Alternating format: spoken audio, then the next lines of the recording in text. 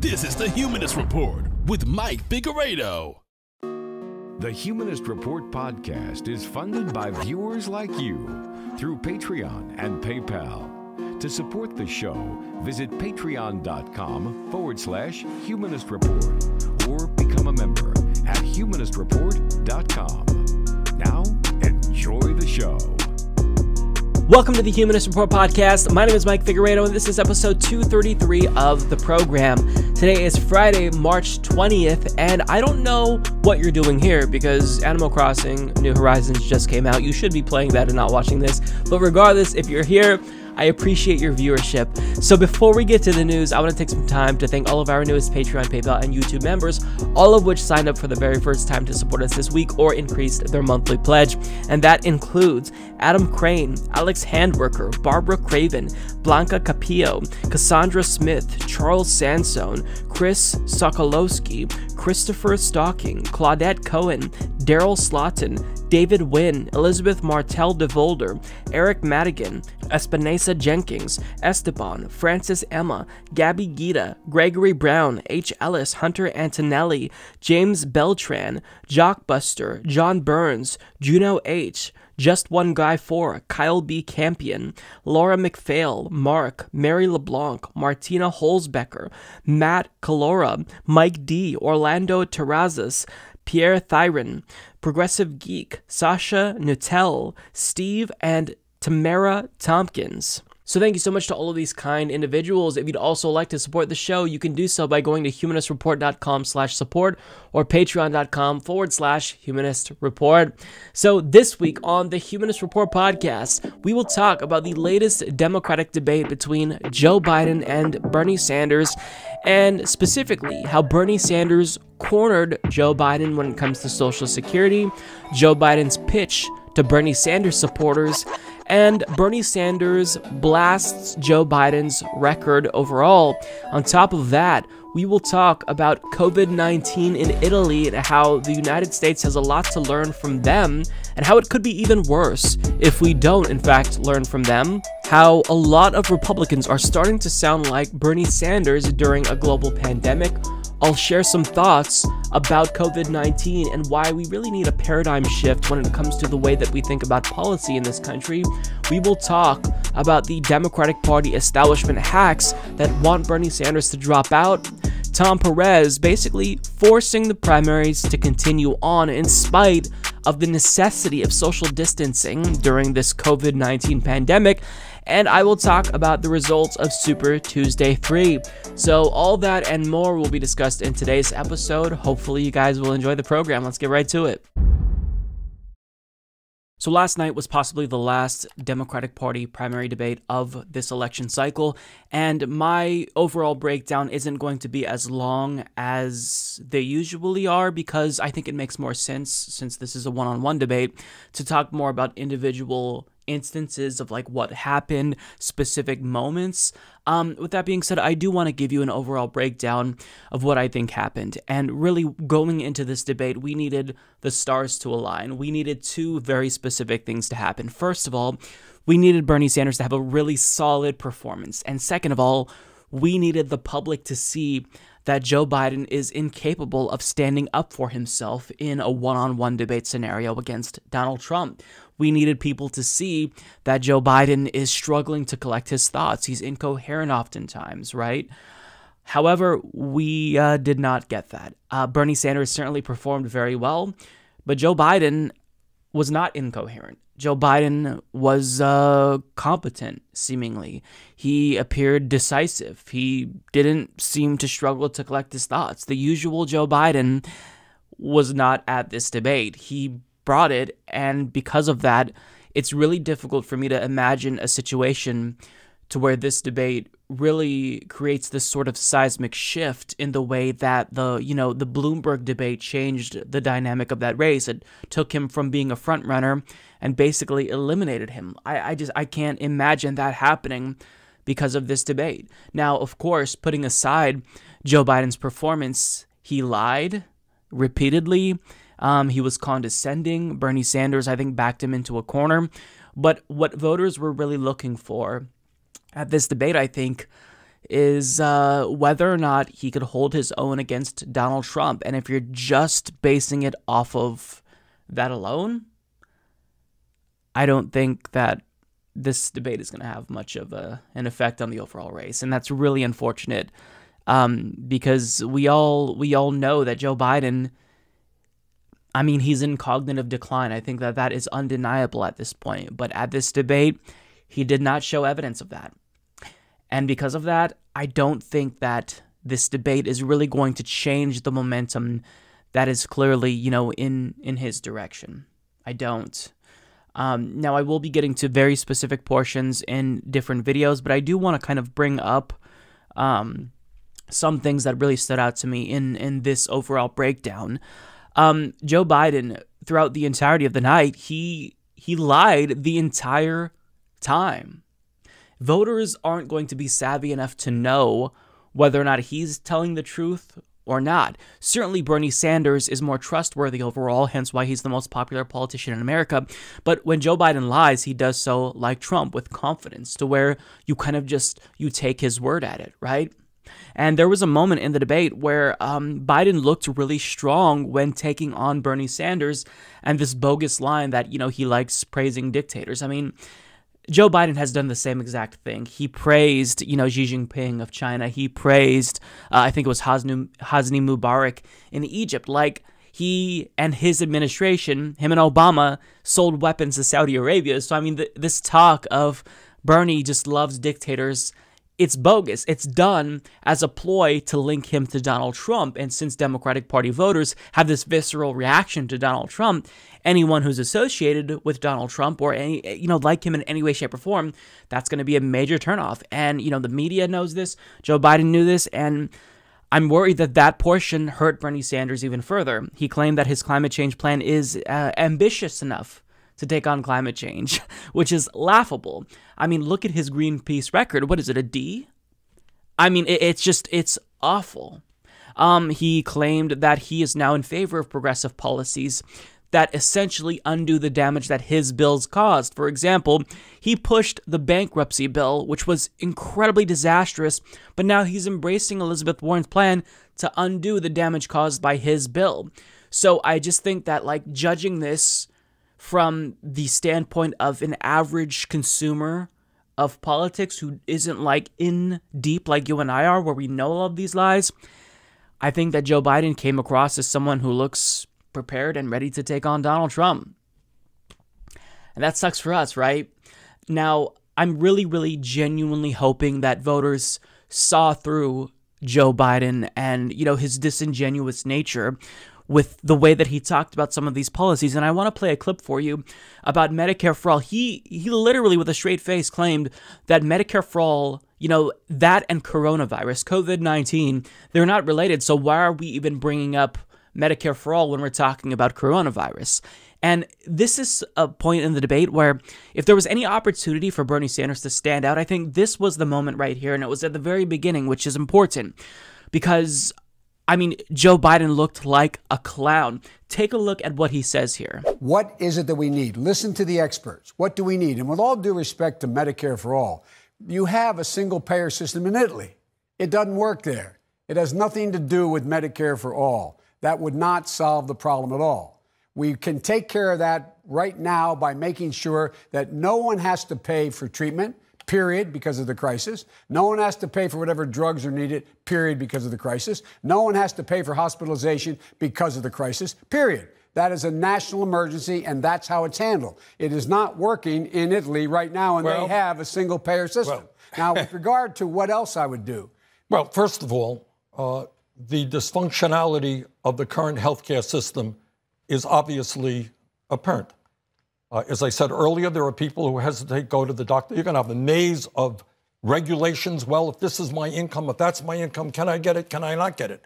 Clearly, we are not prepared, and Trump only exacerbates the crisis. When we spend twice as much per capita on healthcare as any other nation, one might expect that we would have enough doctors all over this country. One might expect that we would have affordable prescription drugs. One might expect that we are preparing effectively for a pandemic, that we were ready with the ventilators, with the ICUs, with the test kits that we need. We are not.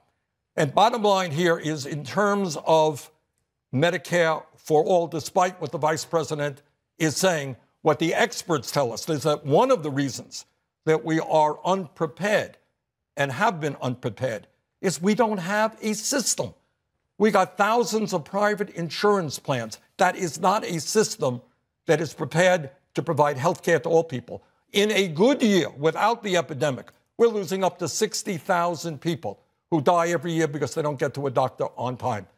And clearly, this crisis is only making a bad situation worse. I mean, to suggest that having a single payer wouldn't help, it's it's literally an idiotic thing to say. Like I don't know how else to describe it.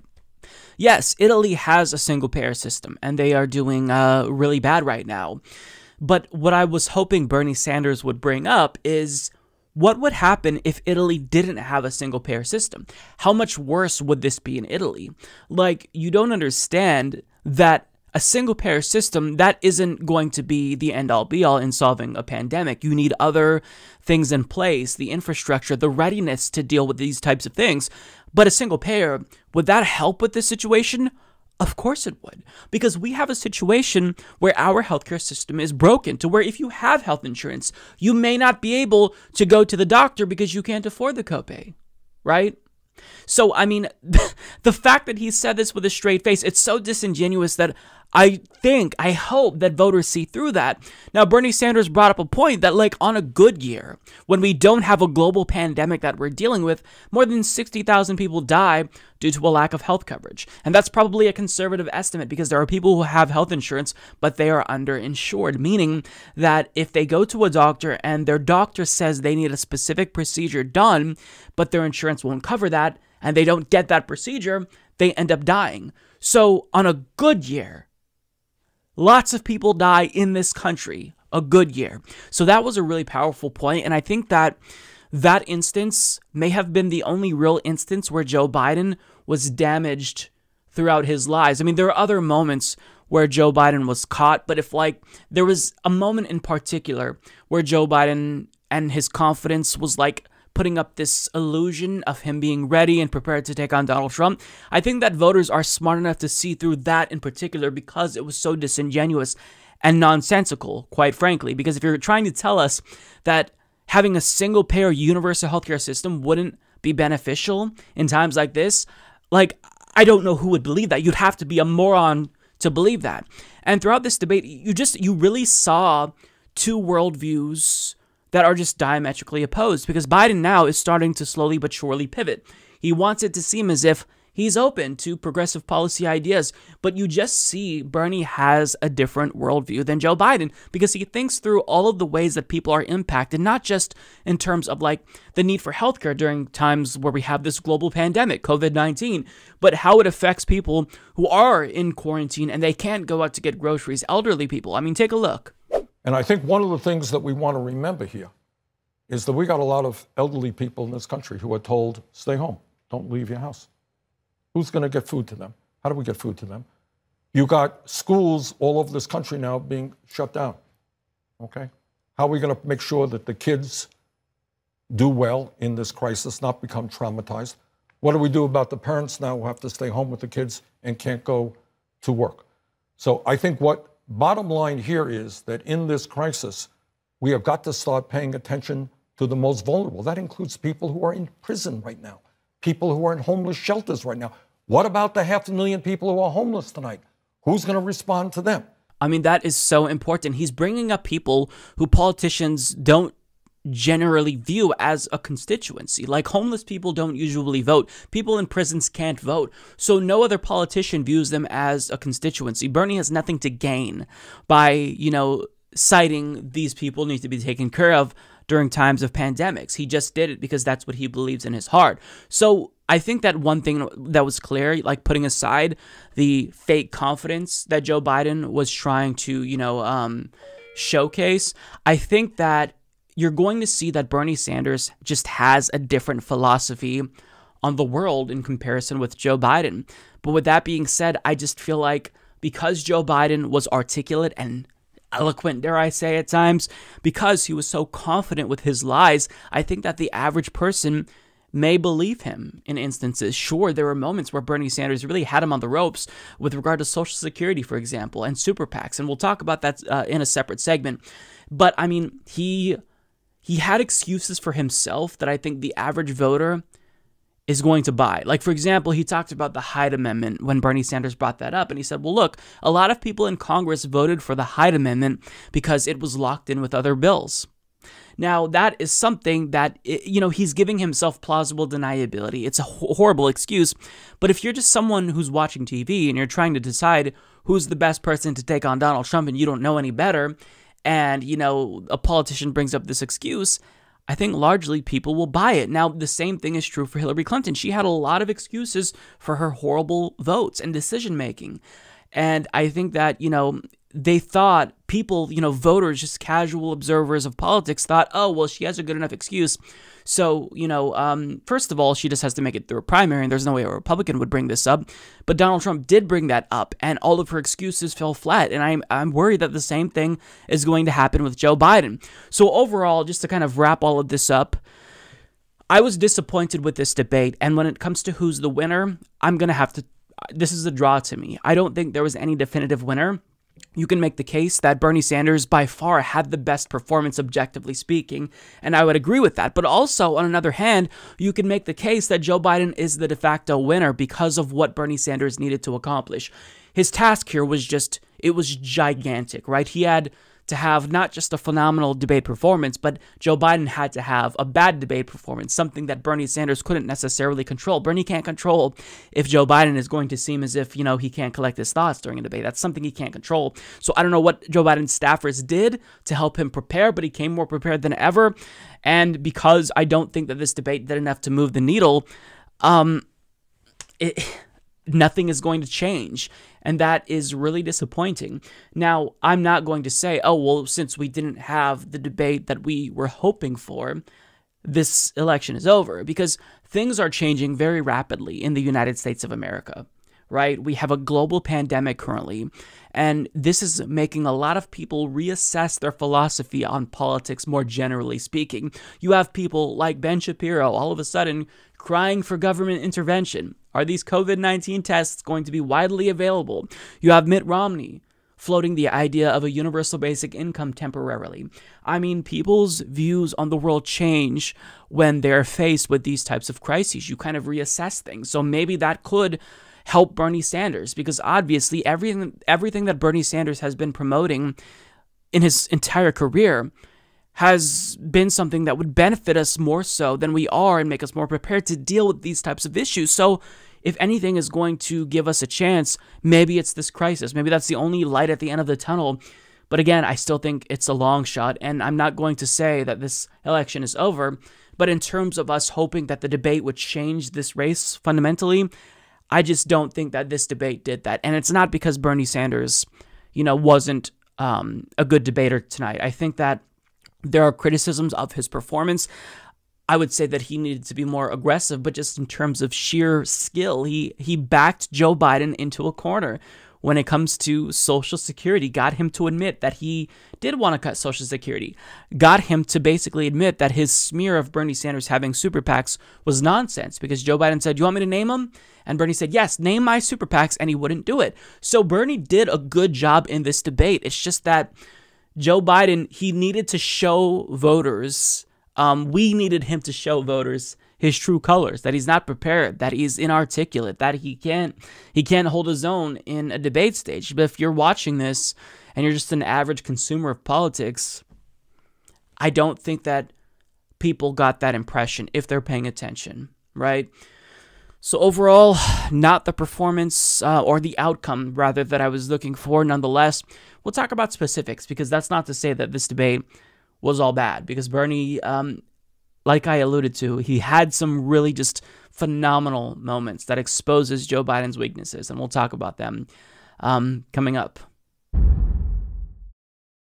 Throughout the course of the CNN debate between Bernie Sanders and Joe Biden, it was very clear that he is painfully out of touch.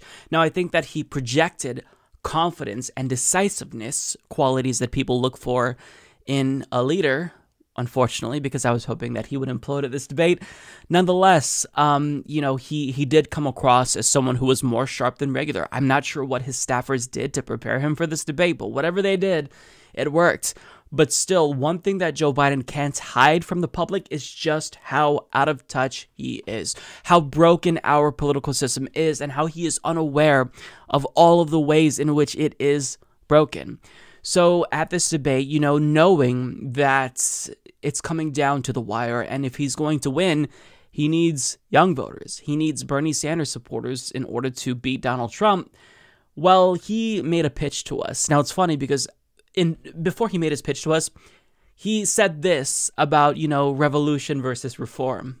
People are looking for results, not a revolution.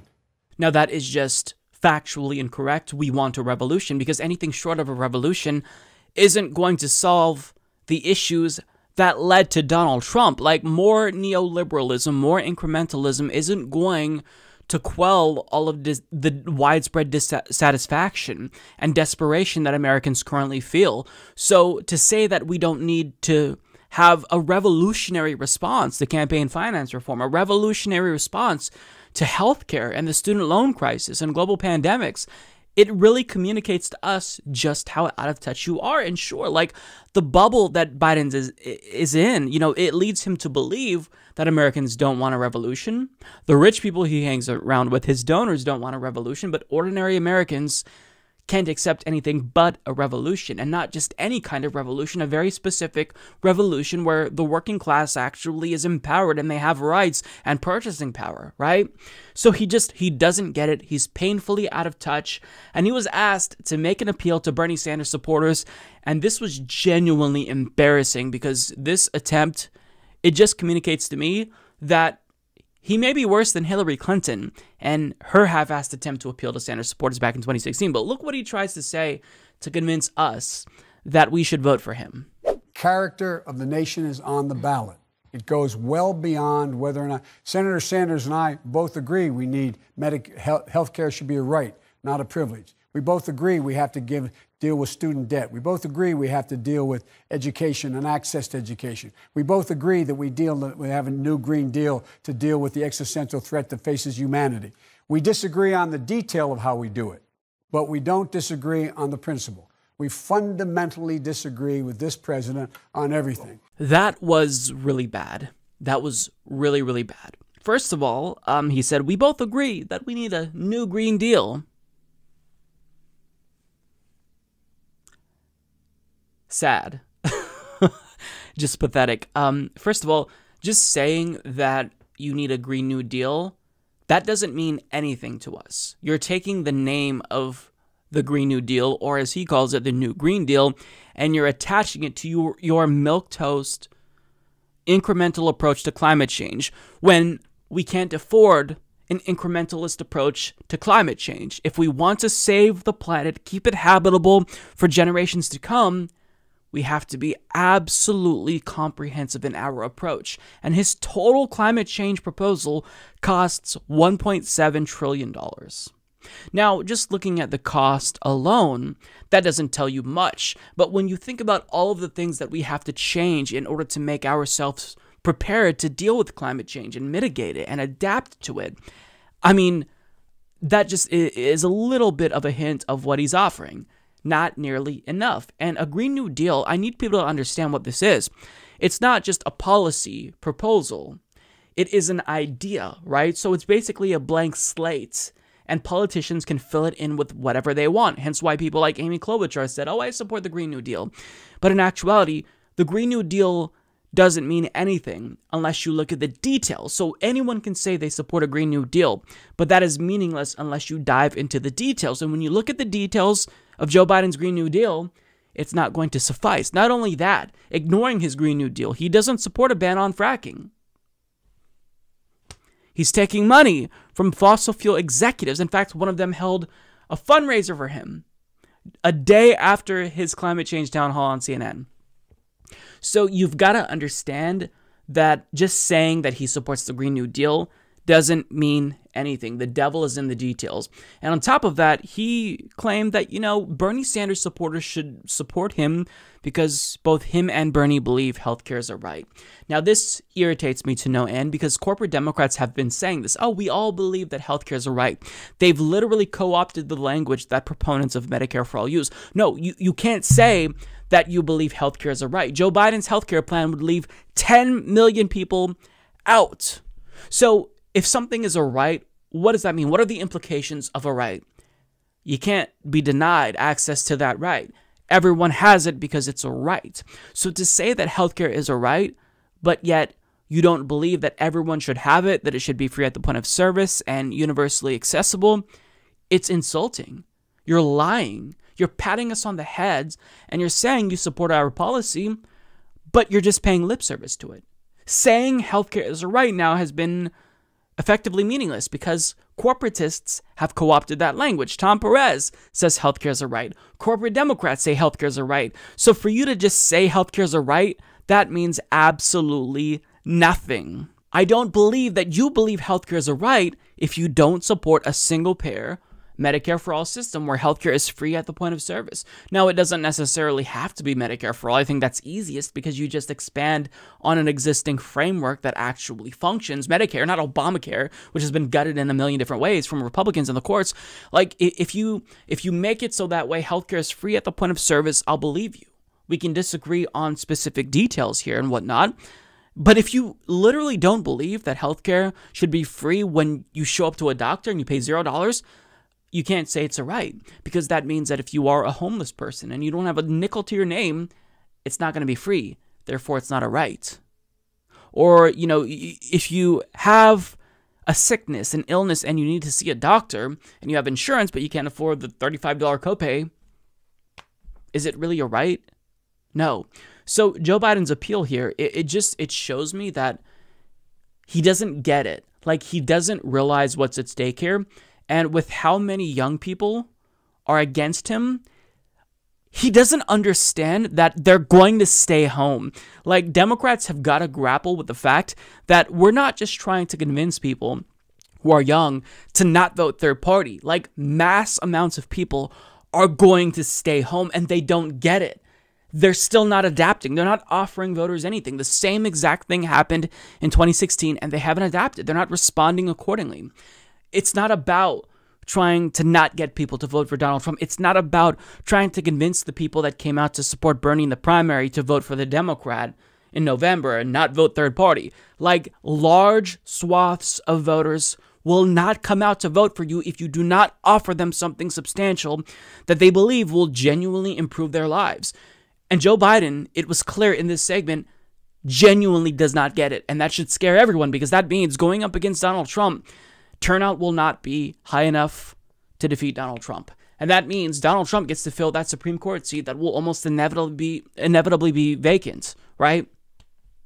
Donald Trump gets to still stack the federal judiciary. Donald Trump will remain in control during a, a COVID 19 global pandemic, which we don't know how long is going to last and Joe Biden doesn't get it. So he may have been able to at least put on a show for people watching and appeared confident. And, you know, he didn't seem as if he was in cognitive decline like he is in actuality. But at the end of the day, he still proved he is painfully out of touch.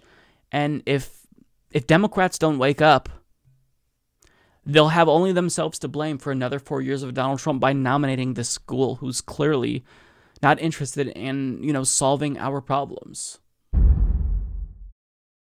So I want to show you a couple of clips from last night's debate where Joe Biden was caught in a lie. And Bernie Sanders masterfully backed him into a corner and wouldn't let him out and got him to admit that he was lying. So when it comes to the issue of Social Security, Biden has repeatedly denied that he ever floated cuts to Social Security. In fact, he once accused Bernie Sanders' team of doctoring a video of him where he says very clearly, you can watch the video, that he wants to cut Social Security. Now, what Bernie Sanders did was get him to basically admit that he was open to it. Now, he still denied it after he admitted it in this debate. Nonetheless, I think that it was very clear what was happening here. Joe Biden showed his cards, and Bernie Sanders played this very well. Take a look. Joe, let me repeat it again. I want you just to be straight with the American people. I am saying that you have been on the floor of the Senate time and time again talking about the need to cut Social Security, Medicare, and veterans programs. Is that true or is that no, not it's true? not true. What That is not true? That is not true. What is true is, in terms of the negotiations that are taking place, how to deal with the deficit, everything was on the table. I did not support any of those cuts in Social Security or in veterans Whoa, benefits. whoa, whoa. You, you, everything was on the table. All right, you're right. You just said it, including, in your judgment, cuts to Social Security and veterans. In order to get the kinds of changes we need on other Okay. things related. Joe, then but you just- didn't. But we did not cut it. I, I know because people like me helped stop that. But Joe, oh, you just on, Bernie. contradict Joe. You just contradicted yourself. One minute, you, excuse me. One minute you said I was not on the floor. The next minute you say, No. well, yes, there was a reason why I was worried about the deficit. Maybe that's good reason. Maybe it's not. All that I am saying is you were prepared to cut and advocated for the cuts Let, of let- programs. let's just let me- I did not. I never voted to cut Social Security. not talking about voted, Joe. That's not what I never said. voted. Well, look, I voted to protect it. I was the, just go look at the debate with Paul Ryan for the vice presidency. Look at what I did. And Bernie, will you acknowledge your campaign took out of context that whole exchange between Paul Ryan? Are you saying PolitiFact is wrong? Are you saying Yeah, well, Post believe me, the? Washington Post PolitiFact is wrong a whole lot of times. But No, are uh, they hold- wrong on that, Bernie? Okay. Are they wrong on that, Bernie? Joe. Bernie, Joe, did you miss? Joe, did you? out? Wait a minute. I'll answer your question. You answer mine. I answered yours. No, you didn't. All right. One more time. Were you on the floor time and time again, for whatever reason, talking about the need to cut Social Security and Medicare and veterans programs? No, I did not talk about the need to cut any of those programs. Okay. All that I would say to the American people, go to YouTube. It's all over the place. Joe said it many, many times, and I'm surprised. You know, you can defend that or change your mind on it, but you can't deny the reality. So, Senator, because you brought up Social Security Yeah. and you've been talking uh, about it, I want to ask you about something that you wrote in 1996. You were a member of the House, and you wrote an op-ed that said, "quote It is clear we will have to make incremental adjustments in Social Security taxes and benefits." yeah. Why are your past comments any less relevant than incremental things the Vice adjustments. What I advocated, adjustments that I advocated and have advocated for years, is among other things increasing the cost of living assistance. No, you're not going to find me ever calling for cuts to Social Security. I mean, what do you even say to that? If you watch that and you don't see how disingenuous Joe Biden is being, I don't know what to say. Like he admitted there, he was open to cutting Social Security. I never said I'd cut Social Security, Bernie Sanders. You're lying. All I said was that I was open to put everything on the table, including Social Security, which I specifically named and called a sacred cow, but I never said I'd cut Social Security. Wait, you just admitted that everything was on the table, including Social Security.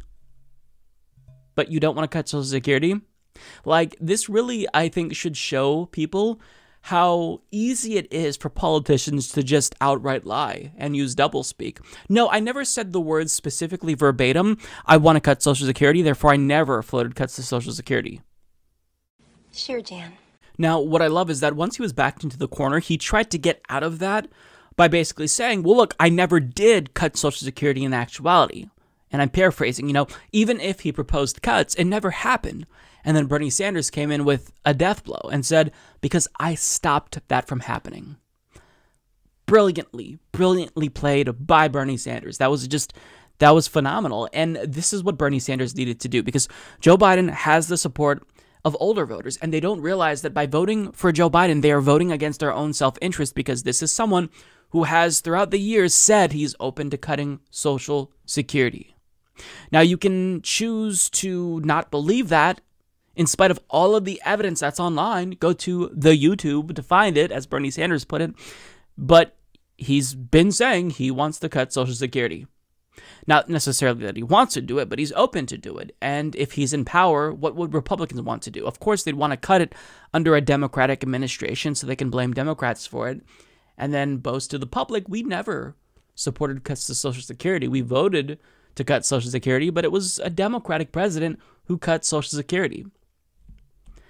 Now, what irritated me to no end was how Dana Bash came through and basically implied that Bernie wanted to cut Social Security. She said, Well, Bernie, you floated adjustments to Social Security. Now, she didn't provide you with that additional context that what Bernie Sanders meant by adjustments was that we need to uh, increase the standard of living for recipients of Social Security, lift the cap on taxable income so it's solvent even longer in the future.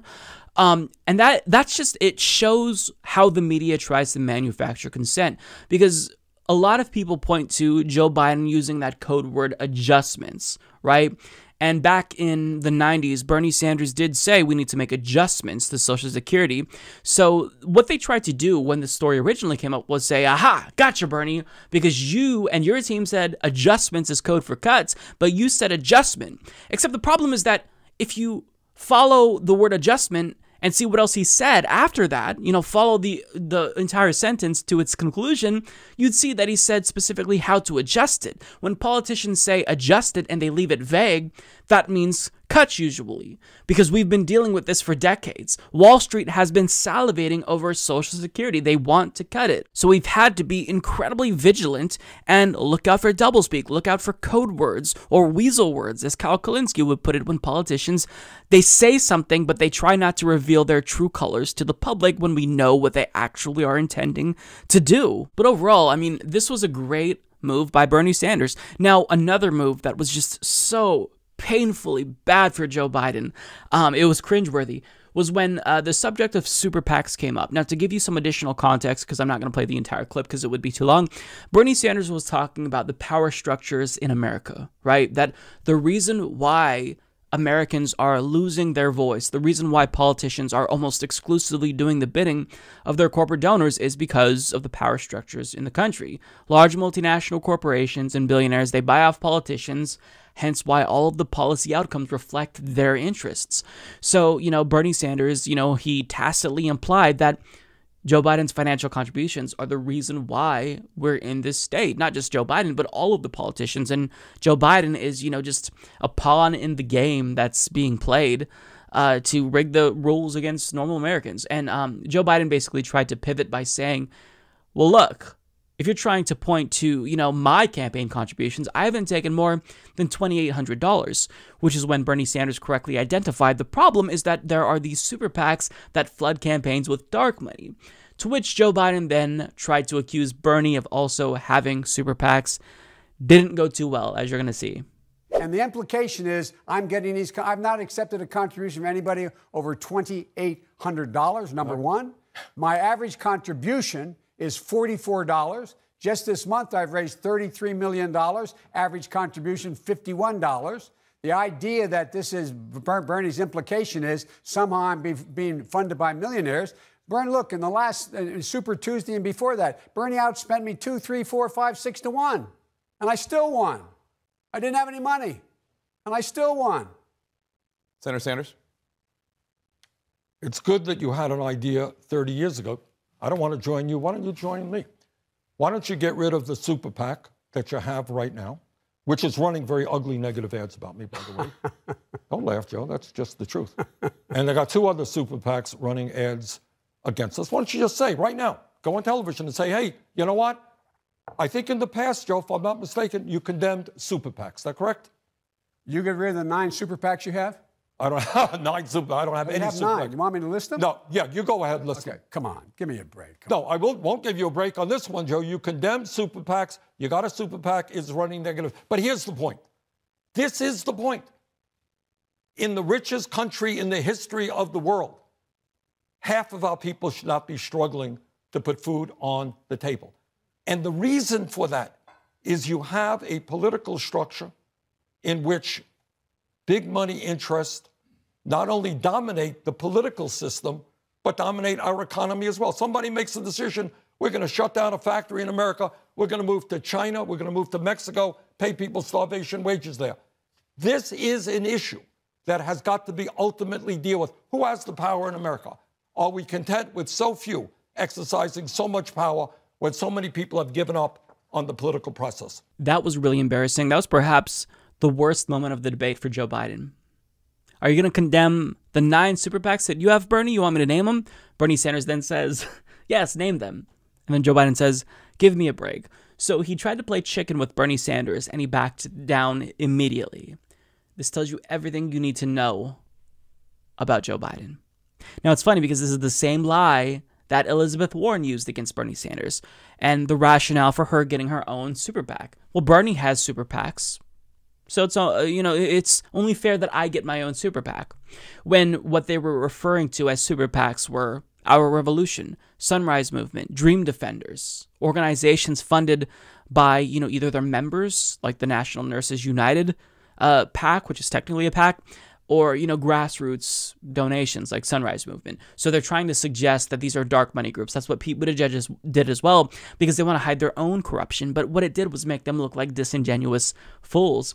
And when you try to play that game with Bernie Sanders, sometimes you uh, end up fucking yourself over. That's what happened with Joe Biden. That's what happened when you tried to call out Bernie Sanders super PACs and you end up looking foolish. So these were these two clips were my favorite moments from the debate. It really made Bernie Sanders look strong, and I really I, I'm just crossing my fingers and hoping that people see through Joe Biden, right? See how disingenuous he was because he didn't display how he was in cognitive decline. He hit it well enough for that two hour debate, which is astonishing. Nonetheless, I think he hit it well. But he still proved how much of a liar and disingenuous, regular, you know, uh, standard politician he is, saying and doing anything to get ahead. And I really hope that the voters see that, you know, in watching this debate, if they did watch it. So during the debate, Bernie Sanders pointed out Joe Biden's atrocious record, and he explained how this shows that Joe Biden didn't have good judgment on numerous issues, right? And this is a leadership issue. If you don't have the foresight to see how the policies you support will impact normal Americans, then going forward, how are we supposed to trust that you're going to represent our interests? Because if you made bad decisions in the past, then you're going to still keep making bad decisions. So Bernie Sanders pointed this out, and this was a really important moment during the debate because it shows that Joe Biden is not someone who is going to represent ordinary Americans. Like you might vote for him because you think he's more electable going up against Donald Trump, which is not true. Uh, but at the end of the day, we can't lie to ourselves and suggest that he is someone who would benefit anyone's life, uh, unless you're rich, right? Because as he said to donors in a closed door meeting, nothing will fundamentally change if he's elected. So Bernie Sanders called out Joe Biden's record, and this is a really important moment. This is a little bit about leadership as well. Um, Joe talked about bankruptcy. Joe, if my memory is correct, you helped write that bankruptcy bill. I did not. All right. I and that bankruptcy not. bill, by the way, when we talk about education, we got 45 million people in America struggling with student debt. Some of them really struggling with student debt. And that bankruptcy bill made it impossible, very difficult for people to escape from that student debt. It was a very, very bad bill. You said, Joe, that a majority of the people in the Senate voted for it. You're right. Overwhelming majority. Overwhelmingly. Well, I voted against it in the House, and I was right. And I don't have to rethink my position because that's what leadership is about having the guts to take an unpopular vote. But it's not just bankruptcy. The difference between Joe and I on uh, higher education is four years ago. It was not a popular idea, Joe. I'm glad you're coming around now. Four years ago, when I said that public colleges and universities should be tuition free. People were saying, Bernie, that's a radical idea. Well, you got states and cities and counties all over the country that are moving in that direction. And I'm glad that Joe is on board. But what leadership is about is going forward when it's not popular, when it's an, un- when it's an idea that you get criticized for. So I'm proud of that fact, and I'm proud of my leadership on many issues. Joe, since the campaign, has come around. I talked about raising that minimum wage 15 bucks an hour four years ago, Joe. So did I, and I went out and fifteen dollars an hour. Fifteen dollars an hour, New right. York City. Go talk to the governor. I will talk I to the governor. I'm not aware of that. All right. I am not aware you of that. You should be aware. Look. All right. Four years ago, it was a radical idea. Very few people in Congress we're talking about. It. Go wasn't ahead, Vice President. So Bernie Sanders was right on all of these issues. Joe Biden was wrong on all of these issues. And I like that Bernie Sanders called out how, you know, the logic here doesn't make sense because you're now supporting bills that would basically undo the damage caused by your bills. So, I mean, going forward, are we going to, in 10, 20 years, need additional legislation to undo the damage caused by you in the event you're president? Like, you've got to understand that if you can't get it right, on a number of very basic issues when Bernie Sanders had it right, then why should we vote for you over Bernie Sanders? And I think that at this point in time, like most voters agree with Bernie Sanders on the policy and they disagree with Joe Biden. Hence why Medicare for all is winning in every single state, even in states where Joe Biden is landsliding against Bernie Sanders. So we've won the policy debate. It's just a matter of really showing people that Joe Biden is not electable against Donald Trump. That's our last ditch effort because that's really why I'm assuming they're voting for Biden over Bernie, even if they dis- disagree with Biden more. It's because they think he's going to be more electable. But what we have to do is point out how these bad policy decisions make him uniquely weak against Donald Trump. Donald Trump will take all of these issues and he's going to weaponize them and use them very effectively against Donald, against Joe Biden. Donald Trump will brag about the crime bill that he signed into law. Donald Trump will brag about how he's against the trade deals that Joe Biden supported, like NAFTA, PNTR with China. So um, Bernie Sanders continued here. And I I think that what he did in bringing up all of Biden's bad decisions was important, but it's missing one really key ingredient that I think would make this a more potent attack. It was going to pass anyway. I made it. Let me finish. I made it incrementally better. I did not like the bill. I did not support the bill, and I made it clear to the industry I didn't like the bill. Number two, this bill now calls for the opportunity to fundamentally change the mistakes we couldn't correct in the bill the first time around. And that is why I support Elizabeth Warren's idea. And it's a very good idea. Senator Sanders, go ahead. Well, this is kind of circular logic. We're going to reform the bill that I voted for. Well, if you hadn't voted for it, and if you had rallied other people, as I try to do in the House voting against it, we might not have the problems with it we have today. You know what leadership is about, Joe, and it deals with, you know, whether you know your opposition or your support, I should say, uh, for uh, legisla- for legislation uh, regarding gay communities and the so-called Defense of Marriage Act. You remember that bill, right? You remember sure the do. Defense of Marriage Act. It was, you know, gay marriage today is considered a little bit differently than it was 25 years ago. I remember that vote. It was a very hard vote. I voted against the Defense of Marriage Act. You voted for it. I voted against the bankruptcy bill. You voted for it. I voted against the war in Iraq, which was also a tough vote. You voted for it.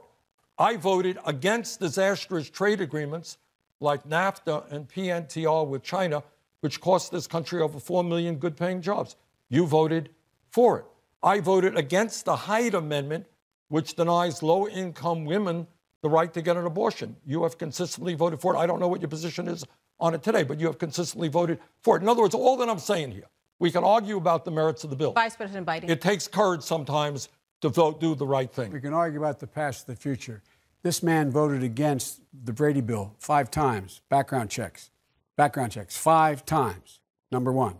Number two, this man is the only one of the few Democrats I know who voted to exempt the gun industry from being able to be sued. Talk about a special, special interest. So I think it's really important that Bernie Sanders brought up all of these different issues that Joe Biden was wrong on, and he's been on the wrong side of history consistently. And, you know, bringing up leadership is important, but none of these issues matter if you don't assign a motive to them, right? Why is Joe Biden consistently wrong? Does he just have really terrible judgment? Well, the answer is probably yes, but the reason why he always seems to side with special interests against voters is because he's corrupt.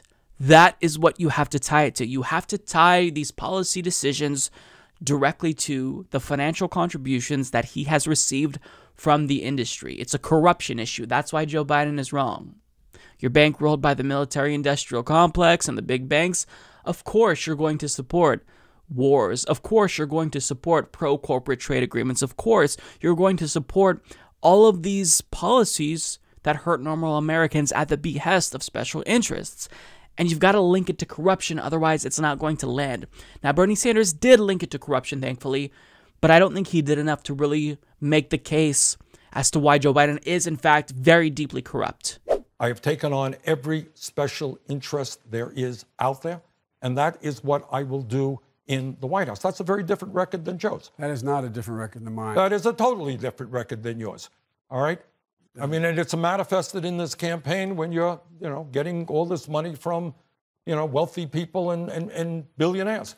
So I think if if you want somebody who will take to the White House what I've done for my whole life, Thank you, Senator Sanders. and that is take on special interest, I think I'm that candidate. Thank Average Senator campaign contribution forty-four dollars. Let's talk. It is astonishing to me that he thought that it would be persuasive if he told everyone that his average campaign contribution is $144. That's not something you brag about, that's something to be embarrassed about. $144. That tells us that you are taking a lot of very large contributions for it to be that high. Bernie's average donation is what, $18, $27? So $144, not something to brag about. So Bernie Sanders is correct to point out money in politics, but he's not doing enough because you have to sell voters on the fact that Joe Biden is corrupt. All of these campaign contributions, all of these private fundraisers he's doing with bankers and fossil fuel executives, it is corrupting him. And Bernie didn't sufficiently make that case. He didn't sufficiently tie Joe Biden's decisions to corruption. You've got to connect the dots for voters because they're not going to do that themselves. I don't think Bernie did that enough. And the problem with Bernie Sanders is that he kind of kneecapped himself here. He had surrogates who were willing to do this. Zephyr Teachout penned an op ed in The Guardian, which was phenomenal, that said Joe Biden has a corruption problem and is making him weak against Donald Trump. Bernie disavowed that attack. And now I think he's probably wishing he didn't do that because, I mean, by just saying Joe Biden has bad judgment, that's not enough to convince voters that they shouldn't vote for him because Donald Trump, you know, um, what did he say when he was clearly clueless? Look, I'm going to surround myself by the smartest people in the world. So, like Americans, if they don't think about this in terms of corruption, they're just going to think, okay, well, look, Joe Biden has made bad decisions, but if he chooses a VP, if he picks a Treasury of Secretary, that's good. Then he could be pushed in the right direction. But if you're not specifically telling them that the reason why he supported that bankruptcy bill was because he took large contributions from the banks, it's not going to matter at the end of the day. And that's been one of my biggest criticisms of Bernie Sanders. It gets to that. He hasn't been direct and harsh enough against Joe Biden, and I get it. Bernie is not that kind of a person. We just have to grapple with that fact. He's too nice. He's too nice. And it may ultimately be his downfall. But if you're not specifically using the word corrupt to describe what's been fueling all of Joe Biden's bad decisions, voters just aren't going to get it. Like people have this vague sense or amorphous view of money in politics. They don't know what the issue is and how it affects politicians, but they know that money in politics is bad. So you have to make that picture clear for them because the media is not going to do it. Other politicians aren't going to do it. So you've got to paint a picture for them and you've got to educate them. Joe Biden voted for the Iraq war because he's corrupt. He's corrupt. He's taking money from defense contractors. That's why he supported this war. If you don't do this, I mean, what is there to be said? You can't prove to people. You know, uh, judgment, the thing about judgment and why it's an attack that lacks potency is because, you know, you can have bad judgment, but if you surround yourself with smart people, you can correct that. You can try to improve your judgment, learn from your past mistakes. So there are ways that voters can rationalize and really explain away something that is just reduced to, you know, a decision that was bad judgment. But if you actually tie it to corruption, that's something that is really a powerful attack against Joe Biden. And I'm glad Bernie Sanders, you know, brought up campaign contributions and money in politics. But if you're not going to say the word corrupt, if you're not going to really explain how Joe Biden has been corrupted, it's not going to land. And he tried to do this against Hillary Clinton and um, on a debate stage. And I forgot what he said, but they asked him, Can you name a single time when Hillary Clinton changed her position because of money in politics? He could have said the bankruptcy bill, and he didn't say something like that. So, I mean, it kind of backfired because of that. So I think that Bernie Sanders is probably feeling as if he's trying to walk on eggshells to not be too divisive, not damage Joe Biden. But the thing is that Joe Biden is a liability against Donald Trump. And if you're not the nominee, Bernie, Joe Biden is probably going to lose to Donald Trump. It's not a foregone conclusion, but I mean, Jesus Christ, do we really want to roll the dice with him? So this was a good moment, but there's a lot to be learned here. And progressives have got to stop playing nice with these liberals and corporate Democrats, right? If you're not willing to call out the corruption, then I think that all of these arguments about their judgment, it's just going to fall flat at the end of the day none of us have dealt with a global pandemic before. We don't necessarily know what to expect. We don't know how long it's going to last. There are some estimates that suggest this could last until spring of 2021. Uh, we're looking at 12 to 18 months for a vaccine. There's a lot of uncertainty, but you know, the thing about the United States is that our citizens, Americans, we've been conditioned to basically handle all of these things on our own because we live in a ruthless capitalist system. But what's interesting is that, you know, in times like this where there's this huge crisis, you have to take action, you have to do what's practical. And for those of us on the progressive left, we're often told that our human centered solutions aren't practical, but at a time when there's a crisis and there's really no room for idealism, we just need solutions fast. It's interesting to me that everyone is suddenly sounding like Bernie Sanders. For example, you have uh, Democrats suggesting, hey, maybe we, we should have uh, Medicare for all single payer now. That's what Ed Markey tweeted. And even Republicans are sounding a little bit like uh, Bernie Sanders because Ben Shapiro tweeted So, when exactly are coronavirus tests going to be widely available? Now, of course, these tests should be free. They should be widely available and they shouldn't just be free. If you have coronavirus, if you test positive for COVID 19, you shouldn't have to worry about your healthcare bill.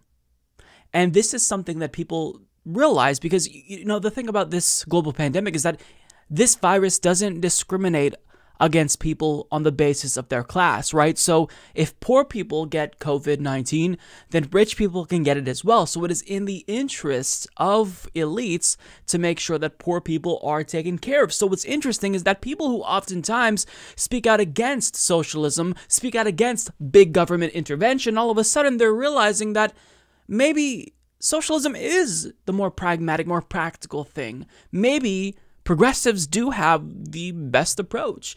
And, you know, it's not like I'm trying to brag here that we were always right, but we were told for so long that our policy solutions were pie in the sky.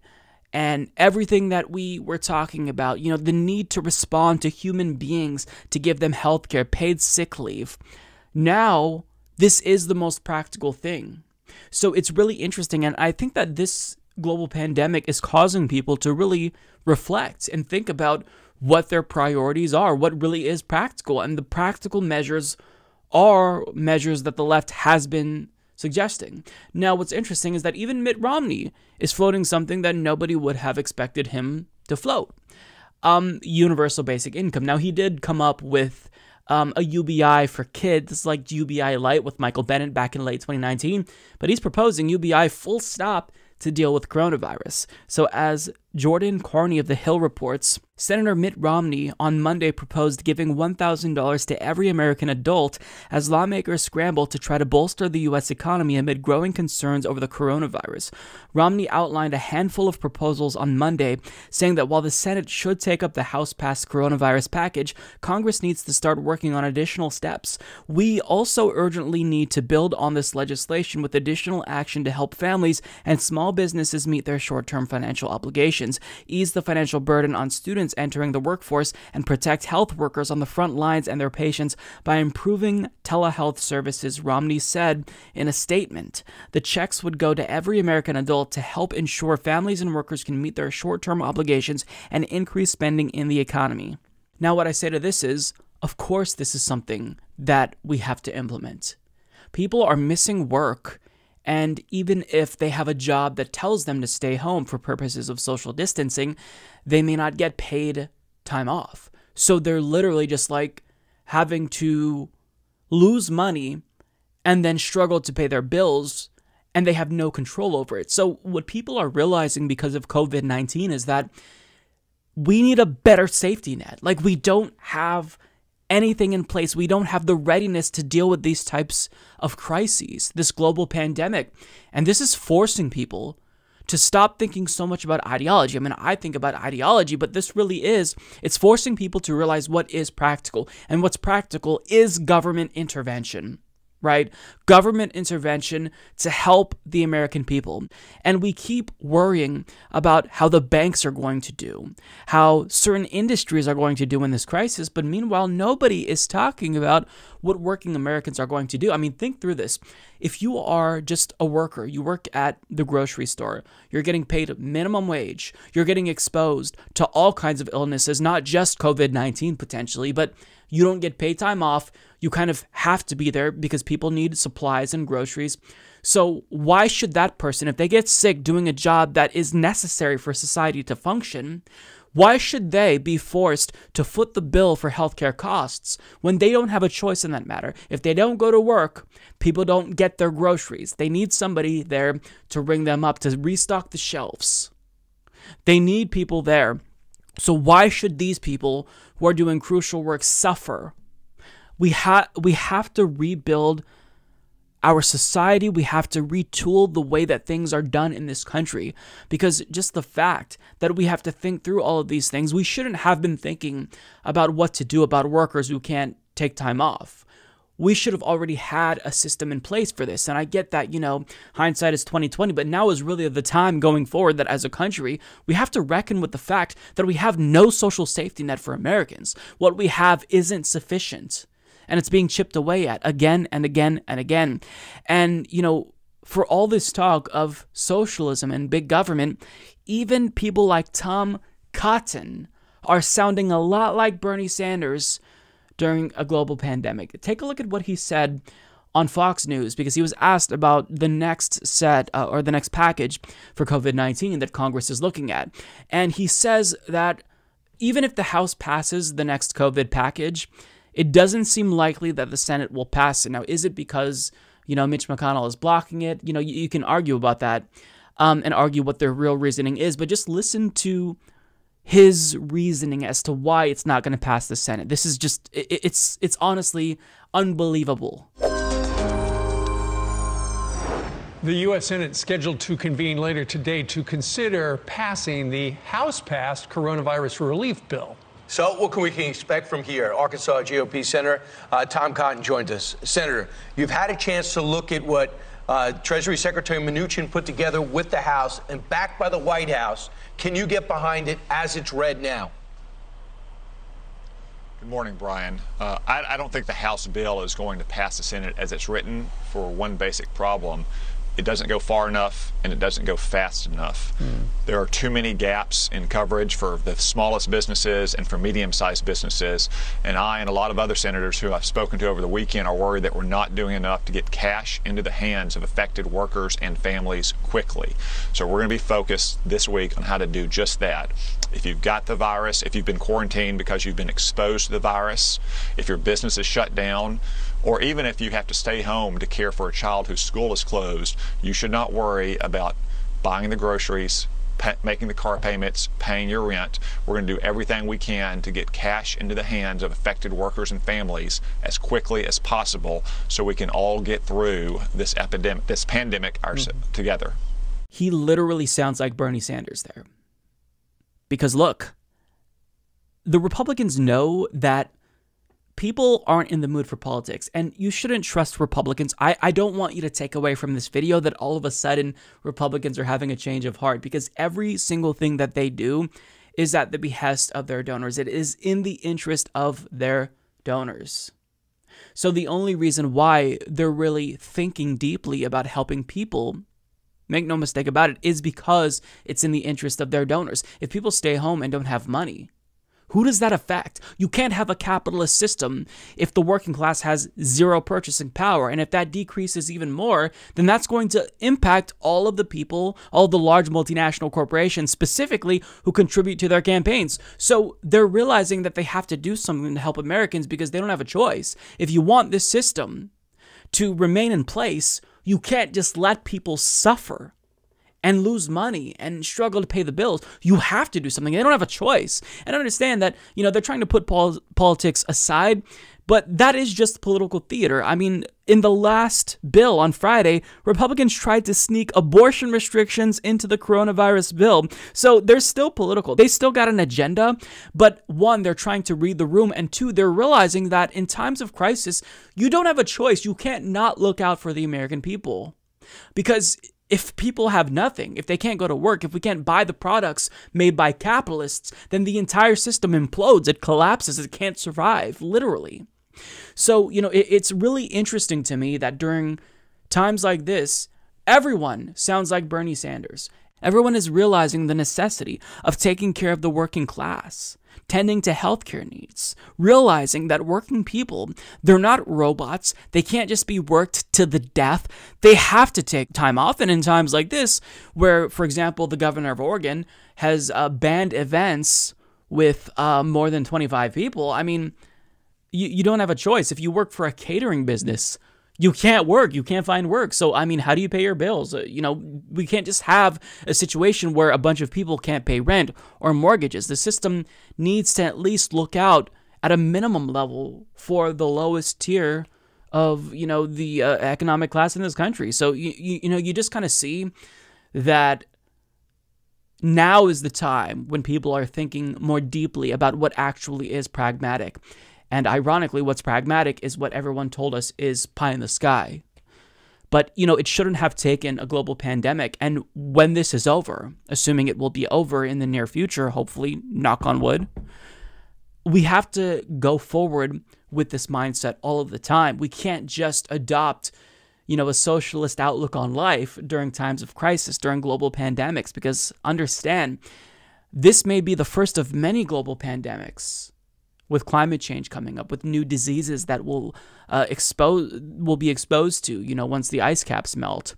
So we've got to understand that we can't just, you know, have this obtuse view of the world to where we can only respond to the needs of the people during times of crisis. We'd be much more capable of dealing with crises if working class people we're not just you know one emergency away of bankruptcy or, or falling you know victim to homelessness.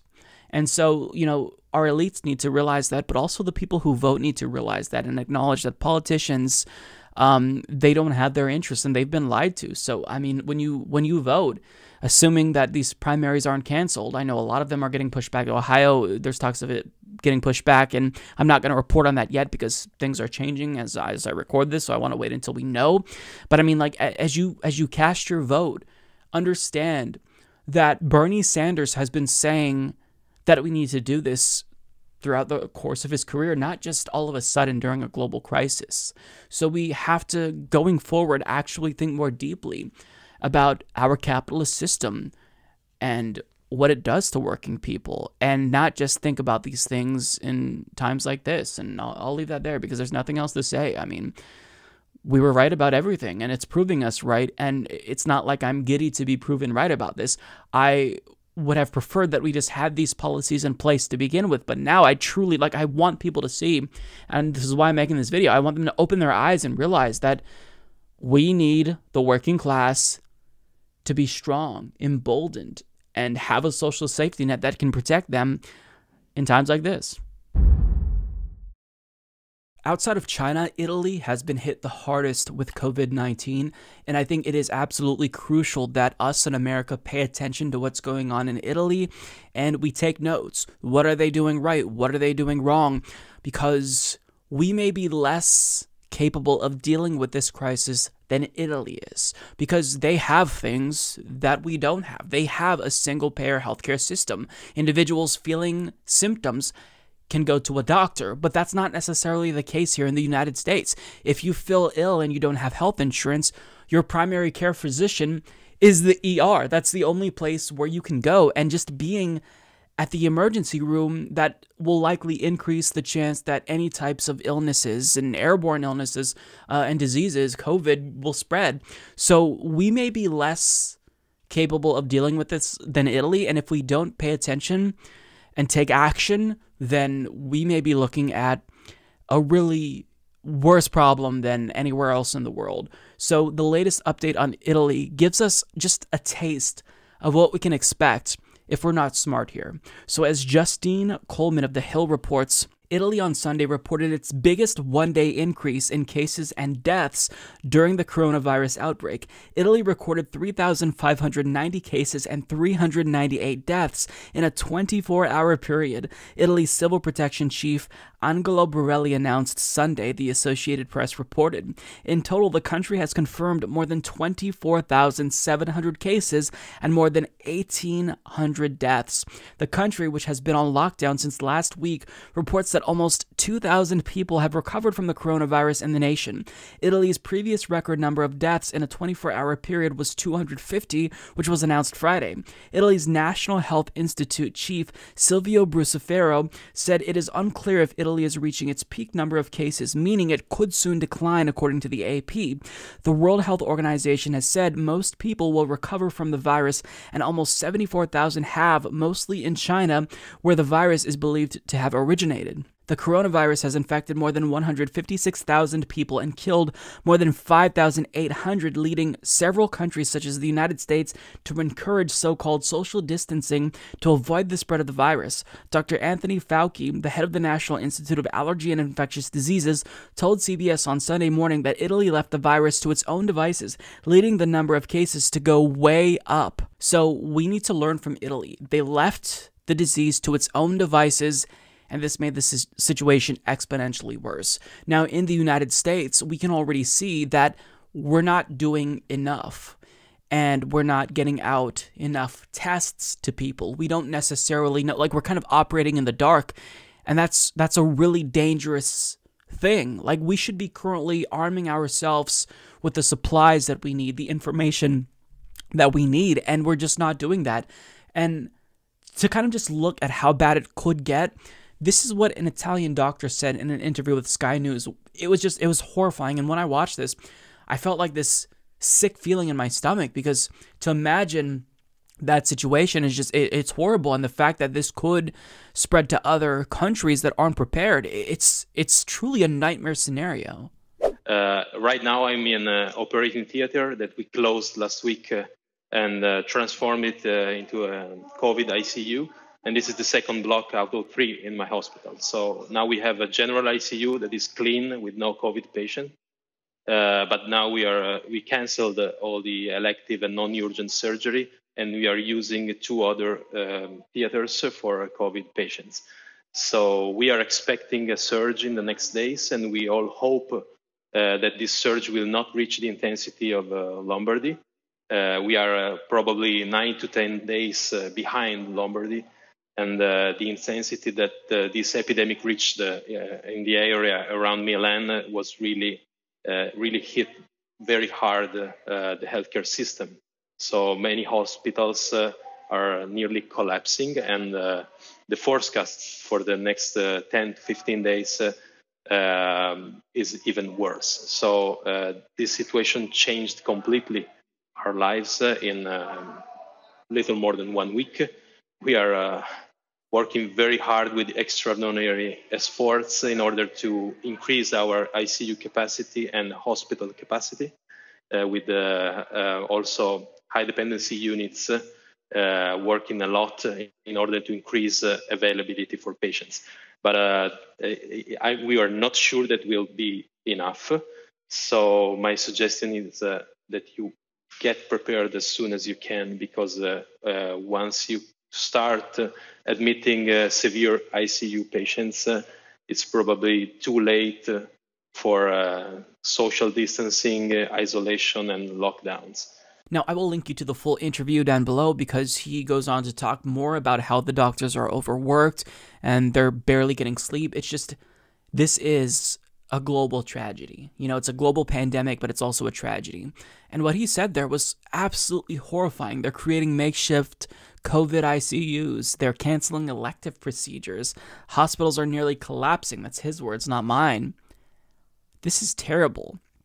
And I want you to see what's happening in Italy and not to scare you, understand that the United States is poised to have even a worse situation, a worse fallout from this, if you will, than Italy because we're just not as prepared as Italy is. And I want to read this article from Vice News. Uh, Tim Hume, he explains, I think very obviously to those of us on the left, why the US is uniquely positioned to be worse off than Italy if COVID does in fact spread to the extent that it has in Italy. Italy is implementing radical new measures against COVID 19, and that could soon be the new normal for other countries fighting the virus. But experts say a number of unique factors in the United States, a sluggish approach to testing, and a lack of public health care and paid sick days for home workers are likely to make its battle to contain the outbreak even more difficult than Europe. The situation is worse for the United States. Francis Balloux, a professor of computational systems biology at University College London, told Vice News. Quote, the U.S. is a special case. Despite the U.S. government's pledges to ramp up testing capacity, it appeared that far fewer tests were being carried out in the United States than in other affected countries in Europe. There's very little testing. It's lagged quite badly behind, he said. There's a lot of unknowns. Exact figures are difficult to establish since the Centers for Disease Control and Prevention said last week that it would no longer provide an official tally of tests conducted under the investigation because states and private institutions had been authorized to conduct their own tests. But an analysis by The Atlantic published Friday could only confirm 1,895 tests carried out in the United States, where the number of confirmed COVID 19 cases passed 550 on Monday. By contrast, in the UK, where 319 cases have been confirmed, health authorities have conducted more than 20,000 tests. William Schaffner, professor of preventative medicine and infectious diseases at the Vanderbilt University School of Medicine told Al Jazeera that problems with the U.S. testing system meant the country lagged behind much of the rest of the world when it came to testing. We don't know yet in the United States whether the coronavirus is widely distributed or whether it is just present in certain small spots, he said. Balloux said the lack of a public healthcare system and of guaranteed paid sick leave for all workers would also hamper efforts to respond to the outbreak in the United States. It will make it much more difficult to convince people to self isolate and impose the required social distancing methods, said Balloux. So, in a multitude of ways, we are uniquely positioned to be worse off than Italy. And it's scary. So, basically, um, when it comes to testing, we're kind of in the dark. We don't necessarily know the full scope of COVID 19 in the United States because we're not conducting as many tests as other countries are. So the problem could be more widespread than we know. But we don't have access to tests. Like, ask yourself this if you feel as if you want a test, do you know how you would get a test? Has you, you know your private health insurance provider reached out to you? A lot of us have no idea what to do. So um, there's that. On top of it, you know, the fact that we don't have a guaranteed paid sick leave means that people are forced to go into work. Now, hopefully that will change. Hopefully these private companies will realize that they are stupid to force their workers to work if they are in an industry that is non-essential, right? But at the end of the day, you know, capital is the most important thing. So they're not going to jeopardize their profits. So that's another issue, right? Workers just, they can't stay home because they're afraid that they'd lose their jobs. And even if they weren't afraid that they'd be fired, they lose money. So we're, we're just, we're in this situation where having basically no social safety net makes us uniquely vulnerable in comparison with other developed countries and that's something that has to change. We can't we can't do this. We can't continue to pretend as if not having medicare for all is acceptable. We can't continue to pretend that not having paid sick leave and looking out for workers more generally speaking isn't going to hurt us. I mean, with climate change upon us, you know, this could be the first of many global pandemics that we're dealing with. So we have to arm ourselves with the capability to stay home if the government says we should be practicing social distancing. But the fact that that's not something that people can do because of the economic system that we have built, it makes it, you know, really bad. Where, you know, we see how bad it is in Italy and can only speculate how bad it's going to get here in the United States. And just the thought that we don't have, you know, makeshift facilities built to accommodate hospitals that will undoubtedly be overburdened if this gets worse. The fact that we're looking at a shortage of ventilators and not acting immediately. What do we do? Like we we get to a situation where you're literally choosing who lives and dies. That's that's horrifying. We should be prepared for this. We should be able to deal with this. But the fact that we're not and the fact that it's so bad in Italy and it could be worse here. That's really scary, and it's something that we have to deal with. And as much as we can, we have to try to stay home, self quarantine. But, you know, I just want people to understand like, I'm not doing this video to scare people. I want you to realize that, you know, we have to do everything in our power to make sure that it doesn't get to the point that it is in Italy. And a lot of us, that's not in our control, right? This is something that the government and governments, state governments, local governments have to do. They have to take action. But if it gets to a point where it's like Italy, it's going to be worse for us than it is in Italy because of the way our system is built. So um, just pace yourselves. We don't know how long this is going to last, but whatever whatever you can do to protect yourself, do it. So it seems like because of COVID 19, a lot of people are being more introspective than usual. They're thinking outside the box and they're really reassessing what is and isn't actually practical. And in times like this, where we're facing a global pandemic, people are realizing that government intervention is necessary. We need leadership. We need to be able to arm ourselves with the capability to deal with these types of issues. And it, it goes beyond COVID 19. But what I, I think that people need to do, just generally speaking, is try to think bigger than what we usually think through in times like this. Like a lot of people are looking at what's practical, what do we need? And obviously, it's healthcare, right? We need people to have access to tests. It needs to be free. If they have COVID 19, obviously the treatment should be free, but it shouldn't just be free for that because there are other illnesses that people deal with, and it shouldn't take a global crisis to make us acknowledge the necessity of healthcare in this country. It shouldn't just be a global pandemic to where we realize maybe there is a need for healthcare for everyone. And, you know, part of me is cynical because, you know, elites want to make sure that the working class don't have COVID 19 because this is a disease that doesn't discriminate. So if poor people get it, rich people are going to get it too. You know, but we have to expand our thinking even further than that. When we're faced with a global pandemic, this is something that's unique to a lot of us. We haven't dealt with this. Um, you know, we have no experience, and the most that we've seen are only like um, you know, introduction to global pandemics is from the movies, you know, if you've watched Contagion. So we don't know what we're dealing with. And this is also going to lead to an increase in mental health crises as well. People may watch the news and feel anxiety and if they have panic disorder already, feel like, you know, they're they're more nervous than usual. If you have obsessive compulsive disorder, this will certainly exacerbate that. So we have to make sure that we think not just about our physical well being, but the mental well being and the toll that this takes on people at a time where they're self quarantining. And we have to look out for individuals with depression, you know, who may be susceptible to self harm. We have to think outside the box. And I think that we've kind of just been conditioned in the United States in this ruthless capitalist system to, you know, uh, look out for ourselves and just think about the immediate need of things and, you know, what we do and don't need. But these things are also really important these things are really important. And if you have a mental health crisis, then what do you do during a self quarantine? What do you do? I mean, a lot of people in this country, they can't afford to just go see a therapist. It's costly. And even if we set up a system to where you can call a therapist via Skype and have them prescribe you medication, one, we don't have that in place. Uh, but two, how would you do that if you can't afford it? And a lot of people, if you have a crisis, if you have a breakdown, you show up at the ER if you don't have insurance. That's your primary care physician if you're poor and you don't have insurance.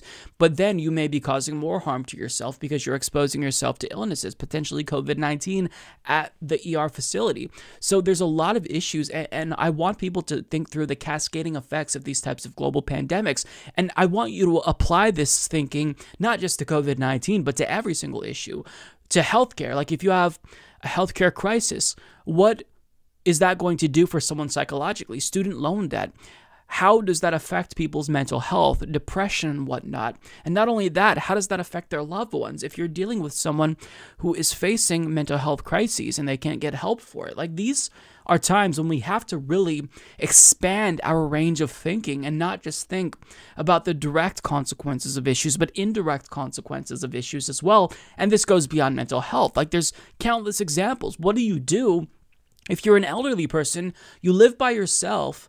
and you know you have no relatives around you to look out for you and you're kind of on your own you drive yourself to the grocery store. You pick up your own medications. Like my family knew someone like this. We lived by a lady like this before she died who had no one until we came along and we're that we're that family that looked out for her and kind of adopted her.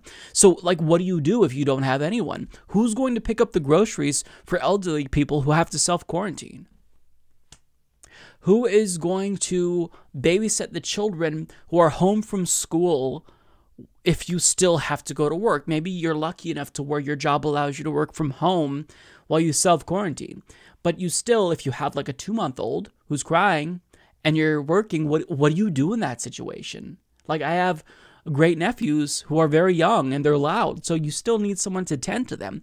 Like we've just become so accustomed to kind of just like let people deal with things on their own to where when we have these types of crises, like it's not just the crisis itself it's the the ripple effect you know the crisis the crises that are created by the main crisis that we have to think about. And it, i'm really you know it feels good to see people think about you know um the policies that we need in terms of UBI. Like it's astonishing to see Mitt Romney propose UBI, which I'm cautious of because that can be a right-wing policy that hurts us if not implemented the correct way. But I mean, people are clearly thinking outside the box. But at this time, I want everyone to try to use this opportunity to think deeper about the way that policies impact people. And the reason why we haven't been thinking about policies and the real concrete impact that crises have on people and you know how policies can address them is because we live in a ruthlessly capitalistic system to where every aspect of our lives has been economized. We're not thinking about the real human impact on people. We're thinking about the market impact, right? We're not thinking about how X affects humans or Y affects humans. We're thinking about how this will impact the stock market. Human beings are just cogs in a machine. And I really I want to influence people no matter what your political ideology is to really think deeply about how precious human life is. I don't care if you're conservative or liberal or a socialist. Like, this should be something that is apolitical. Everyone should acknowledge the tremendous value in human life. And it shouldn't just take a global pandemic for us to realize how important human life is. And not just making sure people are alive, but that they can thrive. You know, making sure that during these times of crisis, people aren't left wondering, what am I going to do? Who's going to be there for me? So, I mean, this has kind of got me thinking deeper about this just because it's personal. Like, for me, uh, I told everyone my father passed away less than two weeks ago, and we've been um, my family has been basically rushing to plan the memorial service for my dad, but we had to cancel it due to COVID 19. In Oregon, our governor issued an executive order, rightfully so, that, you know, bans events with more than 25 people because what else do you do? You have to have social distancing. But, you know, um, for people in my family who are taking this really, really bad, you know, for example, my brother, one of my sisters, um, like, what do you what do you do in this situation for them? They can't really go to a doctor because they don't want to expose themselves to other illnesses. The memorial service is, you know, that was going to be like a way that all of us can feel a little bit of closure, but now that's gone. So, you know, it's not just that COVID is going to cause these types of issues for people. People already were dealing with things. Imagine if you already had cancer or you're on dialysis and now you look at COVID and you're worried about catching that. Like, some people can't stay home. As much as you say stay home, everyone should stay home as much as they can. Like my dad, before he died, he was on dialysis for 15 years and he can't stay home. You know, in that situation, if you stay home from dialysis, like you die. It's just a matter of time to where your body basically poisons itself because you need that machine to act, you know, to be your kidney.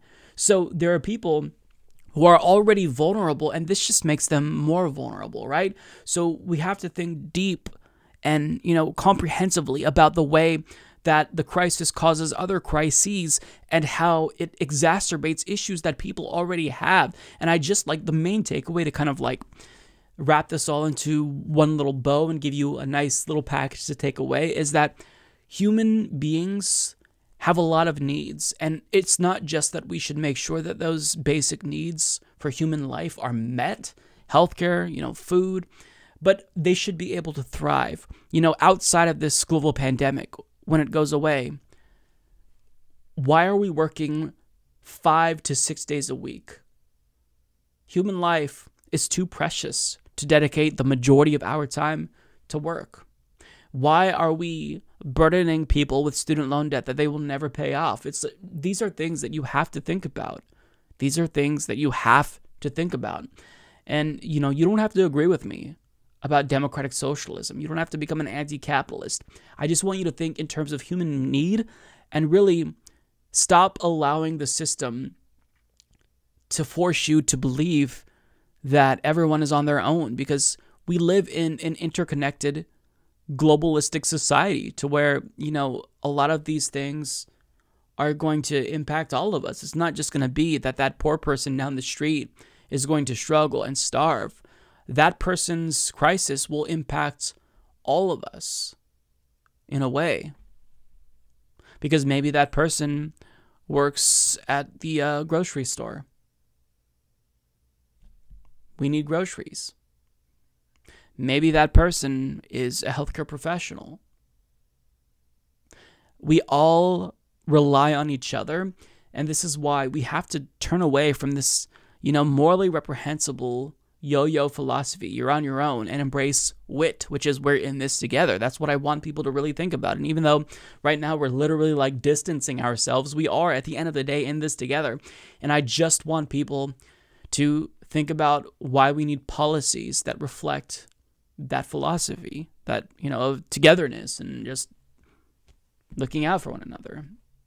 And that's it. Maybe I'm rambling, you know, maybe I'm not making much sense, but I just think that, you know, we, we need to turn away from this um, economized version of human life and actually acknowledge that there's there's more that's more important than just money and capital and the economy surviving, not just surviving, but thriving is uh, that's important because we're all human beings. At the end of the day, we all want to have good lives. So we have to make sure that we fight to deliver that to everyone. Well, tonight was Super Tuesday 3, and the results are not good.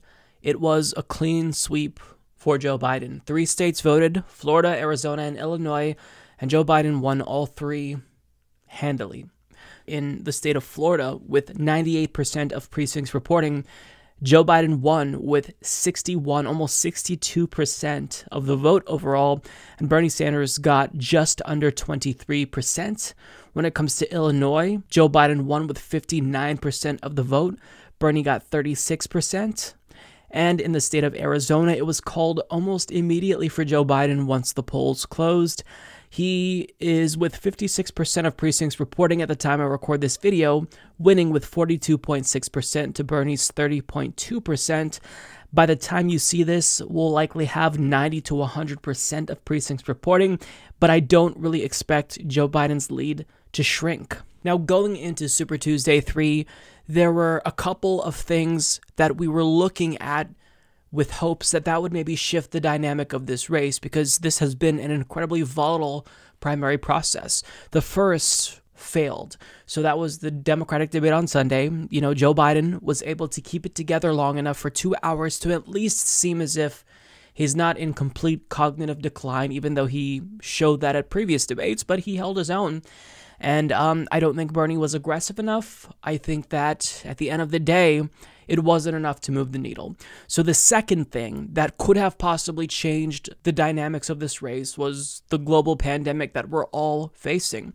At every single state so far where the vote took place, exit polls showed that people support Medicare for all, regardless if they were voting for Joe Biden or Bernie Sanders. So you'd think that, you know, given how important healthcare is, especially now, people would maybe wake up and opt for Bernie Sanders and not vote against their own self interest. That wasn't the case. They still voted for Joe Biden. And before I start to talk about what we need to start thinking about going forward, I do want to get to some additional numbers because, once again, Medicare for All was a winner.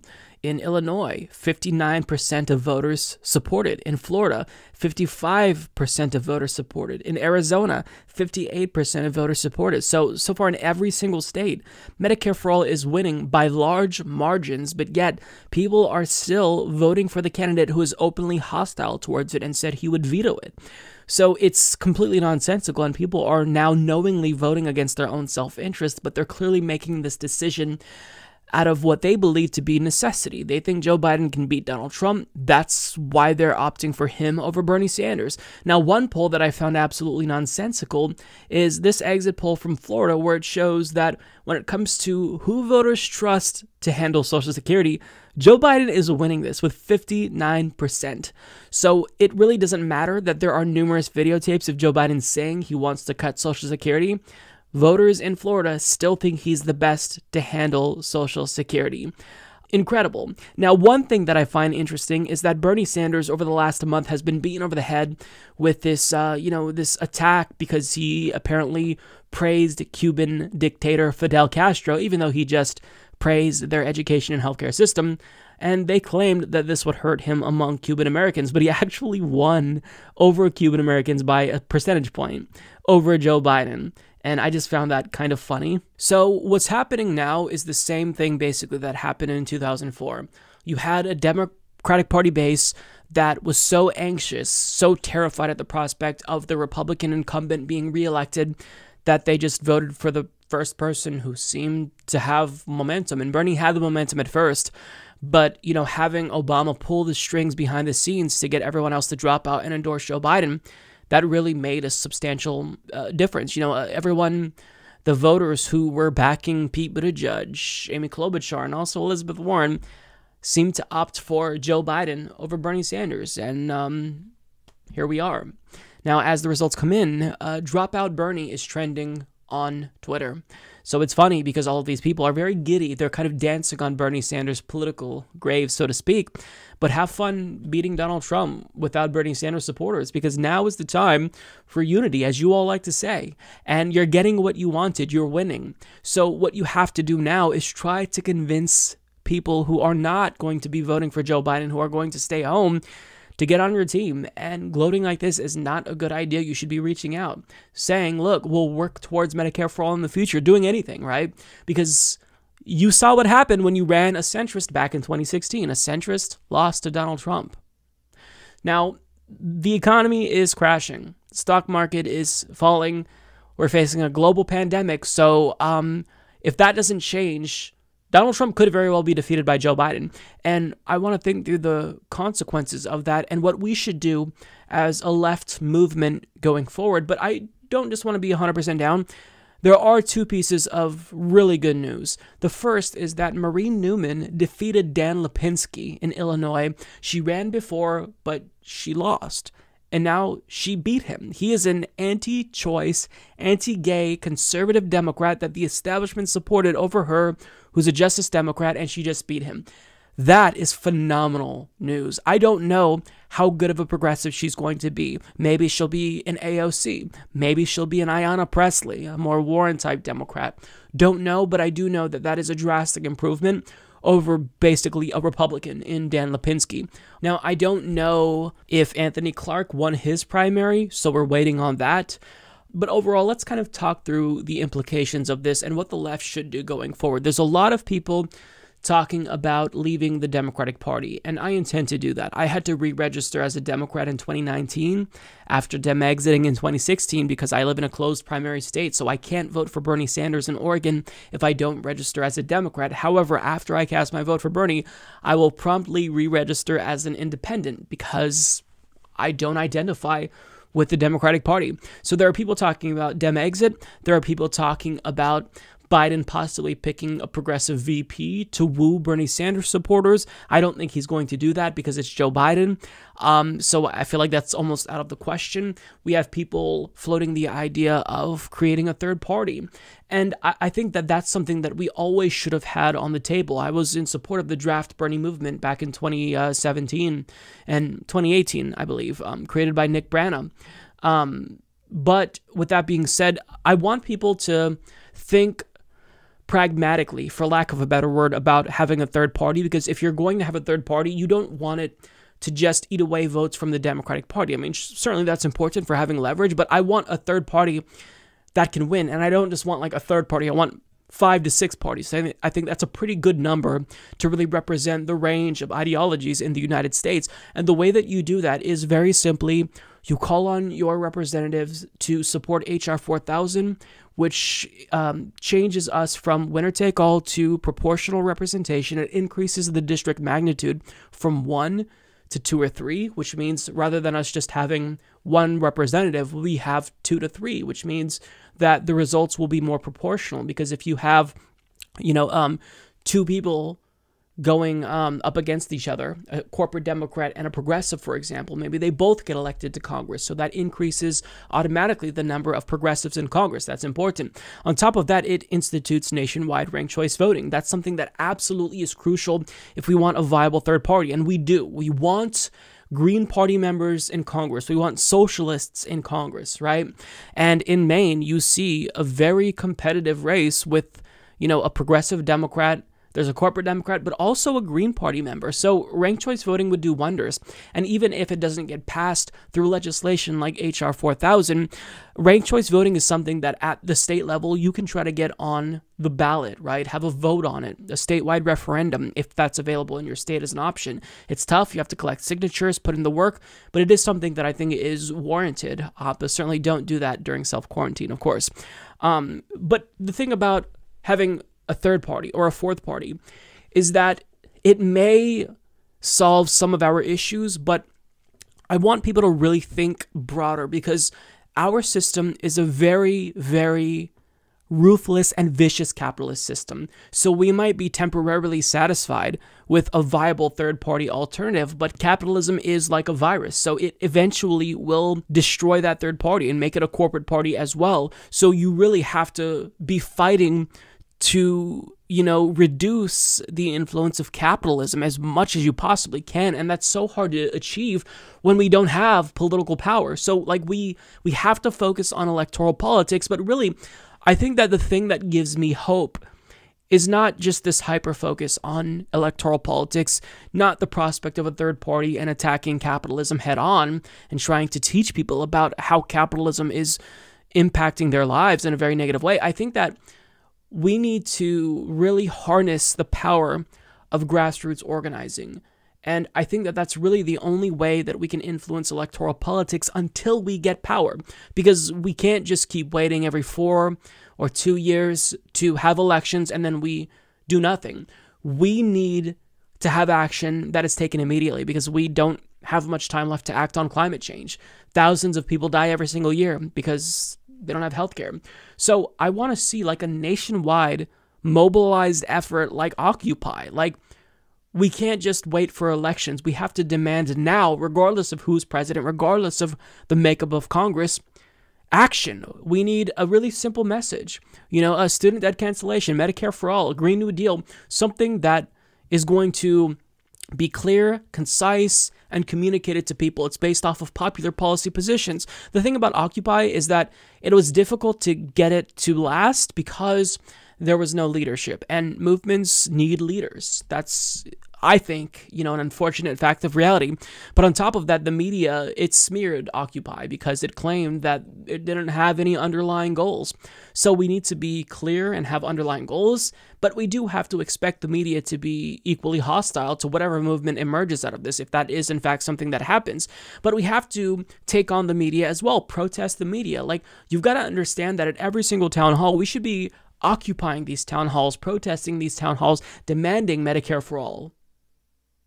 If we need to, we should have a general strike to get the policies that we need to help working class Americans. Like, we don't have time to wait for, you know, the next four to eight years to try to get someone who's progressive that may lose in a Democratic primary or maybe a fake progressive like Barack Obama. We don't have time to try to build up some type of new organization. Like, we need action right now. It can't wait. So that's why I think all this grassroots power that was, you know, that manifested in 2016 and I think reemerged or at least came back together in 2019 and 2020, that needs to be harnessed in a new way to just put constant pressure on both Democrats and Republicans and never stop organizing, getting people out to vote. Um, you know, these are just things that I'm kind of throwing out there, right?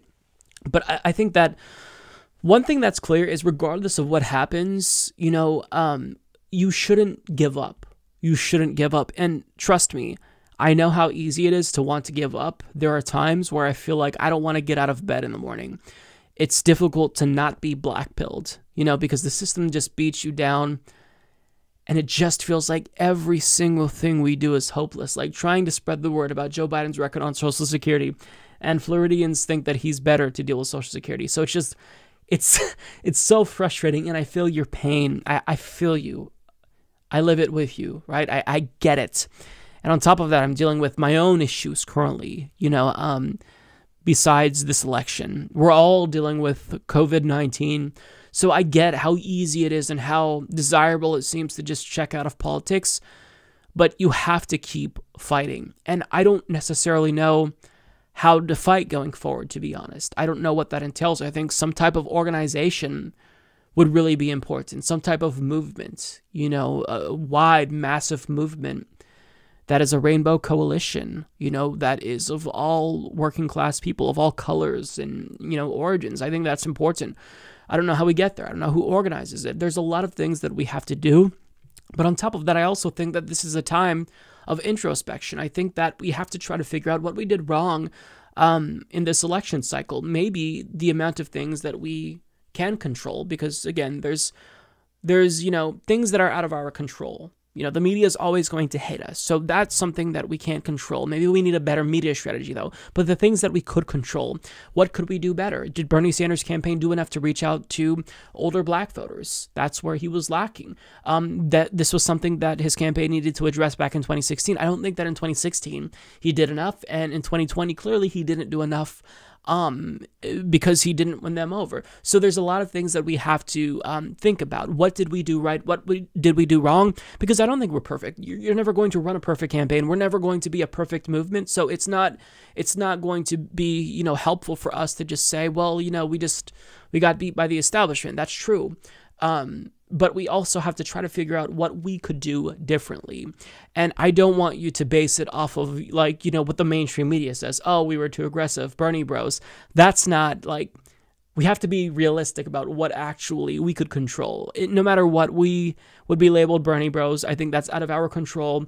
No matter what, um, the media is going to paint Bernie Sanders' movement as disproportionately white, straight males. So there are things that we have to do better uh, in the future. And I don't know when the next progressive champion is going to come along. You know, the problem, and I heard Jamie of um, uh, Majority Report and the Michael Brooks Show made this fantastic point that left wing movements around the world, they have an issue with succession. Like they have leaders, but these leaders oftentimes are older and there's nobody else really that can take their place. Like after Bernie, who's the next progressive champion? AOC is very young. I don't think she's going to want to run. I don't know that she, you know, is going to be able to do what Bernie Sanders did. You know, she has to work on foreign policy. Um, so who's next? Is it Elizabeth Warren? Hell no. She is a clown. She revealed herself. So we have to think about succession. We have to think about our next steps going forward.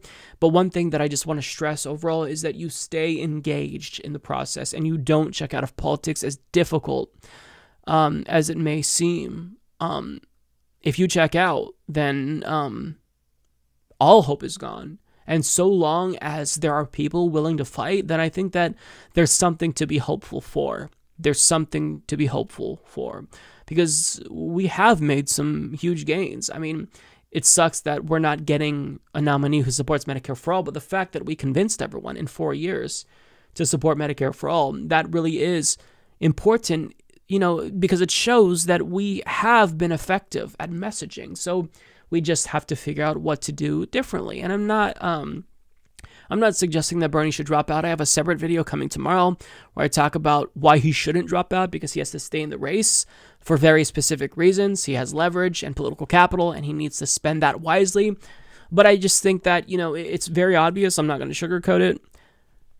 Bernie can't really win at this point unless something giant happens that is completely unforeseen. We're on a trajectory to where Joe Biden is uh, basically going to be the nominee, and the Democratic voting base just wants to coronate someone who can beat Donald Trump in their view. Can he beat Donald Trump?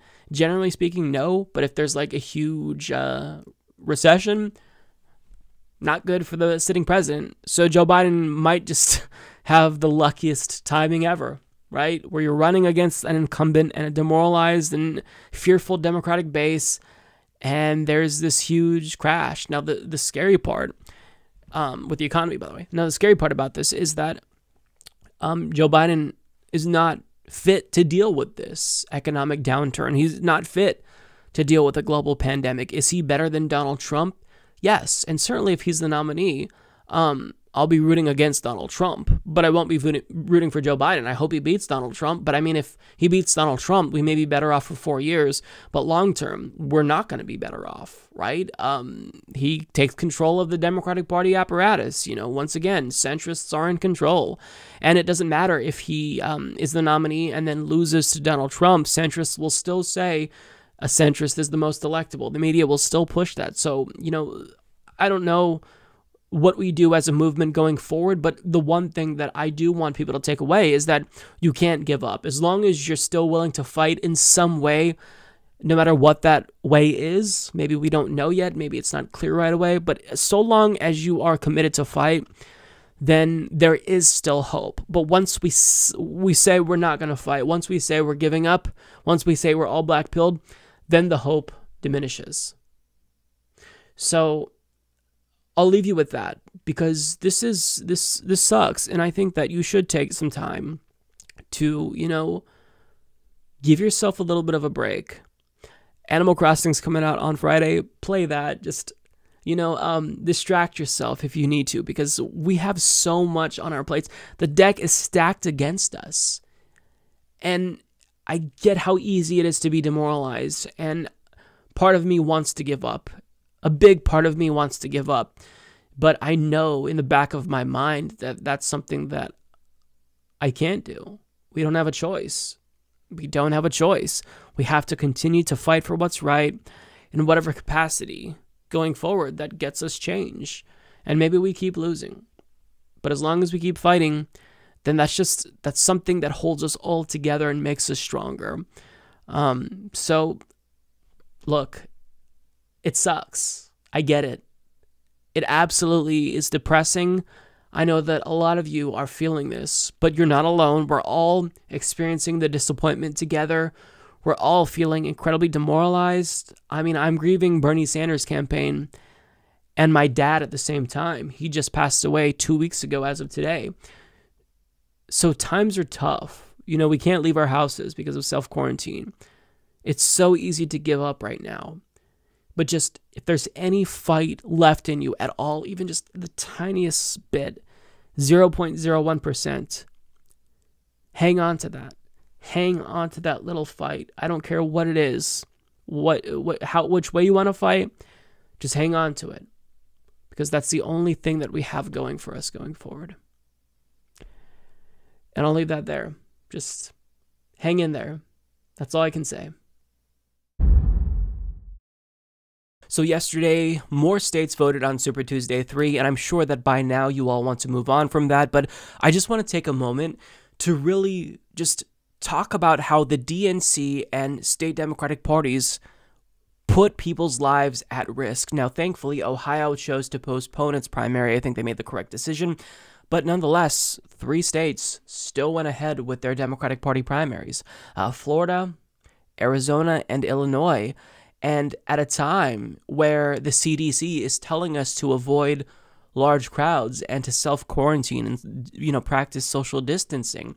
The fact that this would still go on it's it's deeply problematic. I would even argue that it's undemocratic because even if the right to vote is sacred and postponing any election in and of itself it, it makes me feel uneasy.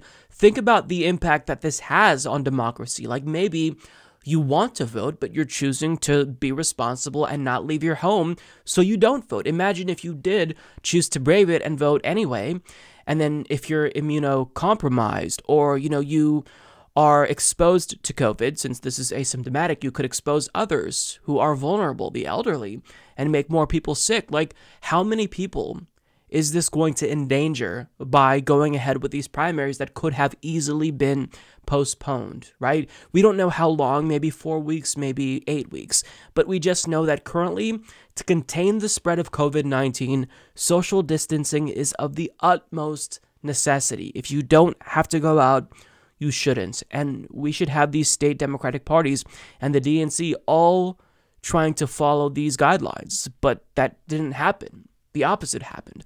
Look at this tweet from James Packard. He shared this video of a line of people waiting to vote in Chicago, Illinois, and it obviously had more than 200 people. They weren't standing far enough from each other, and this is at a time when they're being told to avoid crowds with more than 10 people. Abshir Omar shared this video of people waiting to vote at the Thurgood Marshall Public Library, uh, and they're waiting around two hours to vote. This is mostly elderly people. And then he also shared this photo of people waiting to vote in a poorly ventilated basement at Gage Park. And he pointed out that the line here, you know, you're waiting a little more than an hour, but people are just choosing to go home because they just don't want to risk it. They feel uneasy being in public when we are being told to stay indoors. And then you have this tweet from Adam E. Ross, who I think very reasonably was scared. He says, I'm so effing scared to vote tomorrow that I'm crying. I don't want to get coronavirus. I don't want to die. And then he says, Update, it's 6 a.m. I'm in line. I'm scared shitless. I'm doing this for Bernie. I'm doing this for me. I'm doing this for you. So, I mean, people shouldn't have to make this decision. I get not wanting to postpone primaries because democracy is sacred. But at the same time, you can't really have a democracy that is uh, you know robust if people are afraid to vote because of a global pandemic where every single country in the world is trying to deal with this and contain it. Now, you'd think that the DNC, uh, the DNC chairman in particular, Tom Perez, would be doing everything in his power to encourage states to adopt vote by mail and, you know, tell them to postpone this if they need to but he's not doing that. And this is what he said on uh, MSNBC in an interview with Chris Hayes. This was just completely uh, irresponsible. It is your view that this can be safely conducted tomorrow. Who, who have you been consulting to come to that view? Well, again, we didn't intervene in that case. No, I know. I, I, this it, is a state matter, yeah. but I'm asking your position sure. as Tom Perez, the head of DNC. Sure. My, my understanding is you're saying you agree with the states that are going forward. Yes, we, we respect what they're doing, and we you know we always encourage everyone. And I've, I was in contact today with uh, people in a number of these states, uh, including but not limited to Arizona, and again asking them if they do they believe they have the systems in place that enable them to put the elections on tomorrow, and they do. And Republican and Democratic governors have made that judgment that they can do that. I don't think it's for me uh, to second guess those judgments, Chris. And so uh, I respect that. So, in other words, ignore what the CDC is saying, ignore the necessity of social distancing. You know, these state party leaders and governors, they think that the primaries can still go on as planned, so I'm going to trust them. Except you are in a position of leadership and you are complicit now in endangering their lives. How much of this virus will spread specifically because of these primaries that are taking place. Will people die because of this? I mean, these are serious implications. Like, we should be talking about this. So currently what Tom Perez should be doing if I'm the DNC chair, if I'm in a position of power, is I'm saying, listen, every single state should postpone their primary for at least four weeks. And meanwhile, we are going to be rolling out a vote by mail system. We're going to be helping these states uh, have the capacity and the resources that they need to actually carry out a competent vote by mail system because this is just too serious and we don't want to take any chances. But that's not what's happening. In fact, the DNC is actively encouraging states to not postpone their primaries. I mean, look at this headline here from The Hill. DNC calls on states not to postpone primaries. And on top of that, as The Guardian reports, states delaying primaries past June 9th may face delegate penalty, warns DNC memo. Democratic National Committee reacts to Ohio postponement with memo that says party working with states on coronavirus measures. So, I mean, this is criminal. This is criminal. And we'll get to the articles. But how could you put people's lives at risk when you don't have to do that. There's other options. You can postpone it. You can roll out vote by mail. Four to eight weeks is more than enough time to have a vote by mail system in place for these states who haven't yet voted. We're not looking at all 50 states, you know, and the additional territories. Like, you have a limited amount of states that haven't voted. You have states like Oregon that already have vote by mail, so you don't have to worry about that. Why are you doing this? It's just it's unbelievable to me. Now, getting to that article from The Hill, as Jonathan Easley reports, in a statement, DNC Chairman Tom Perez said that states should begin mailing ballots to all registered voters and to implement no excuse absentee voting, which allows voters to drop their ballots off at pre approved sites. In addition, Perez said that polling places should expand their hours and days of service to reduce lines and crowds.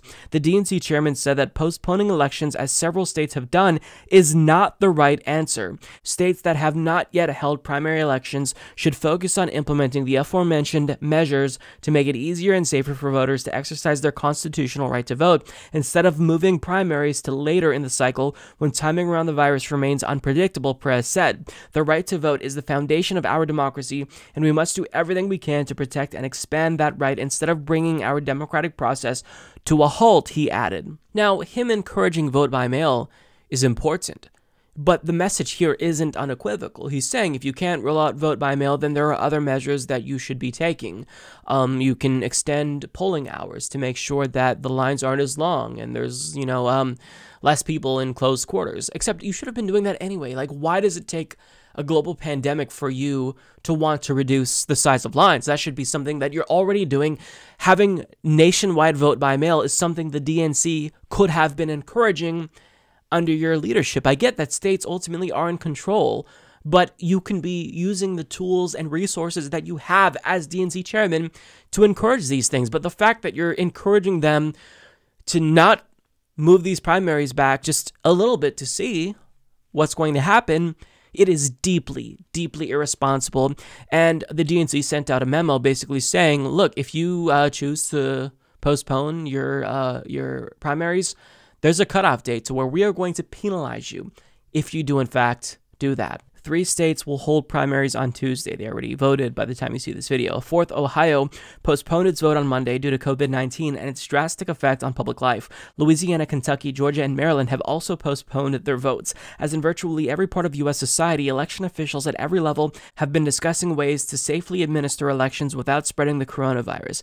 The new DNC memo obtained by The Guardian was sent to members of the Rules and Bylaws Committee on Wednesday night. We are working with state parties that need to make adjustments as needed to their delegate selection process so they can continue without major interruptions, wrote James Roosevelt and Lorraine Miller, the co chairs of the Rules and Bylaws Committee, in the memo. The regulations allow technical changes to be approved by the co chairs. A number of states have taken dramatic steps to prevent spreading the coronavirus. Late on Monday night, Ohio's Governor Mike DeWine announced that his administration would order polling stations closed because of the health emergency. Several states have taken steps to change the date of their first determining step.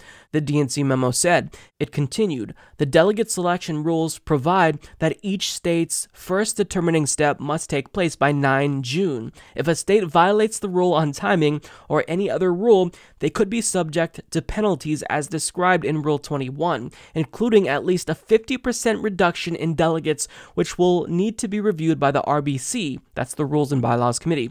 The deadline to elect convention participants is the 20th of June, so state parties should have plenty of time to elect their delegates, alternates, and standing committee members. Now, June is quite a ways away, so states by then absolutely should figure out some way to carry out vote by mail, right? That's more than enough time. If you can't do that, then what are you doing? But I mean, the message from the DNC isn't one of, hey, we're here to help you out, use our resources, use us for information and planning. They're saying, get it done, or we're going to penalize you and possibly strip 50% of your delegates away. This is just insanity. I don't know how else to describe this. It's it's insanity. It is insanity. What is Tom Perez and the DNC doing? on one hand, he's saying, well, look, we care about this disease and, you know, we do want to practice social distancing and we would like vote by mail. But on the other hand, if you can't get it done, we're going to screw you over. Rather than trying to assist them, you're trying to flex and uh, intimidate them into uh, not postponing the primaries. Now, the question is, why are they being so irresponsible? I mean, at first you'd think it's because they want to hurry up, get the primaries over with because they want to protect Joe Biden. If you extend it, that opens the door to, you know, a momentum shift and Bernie Sanders regaining ground.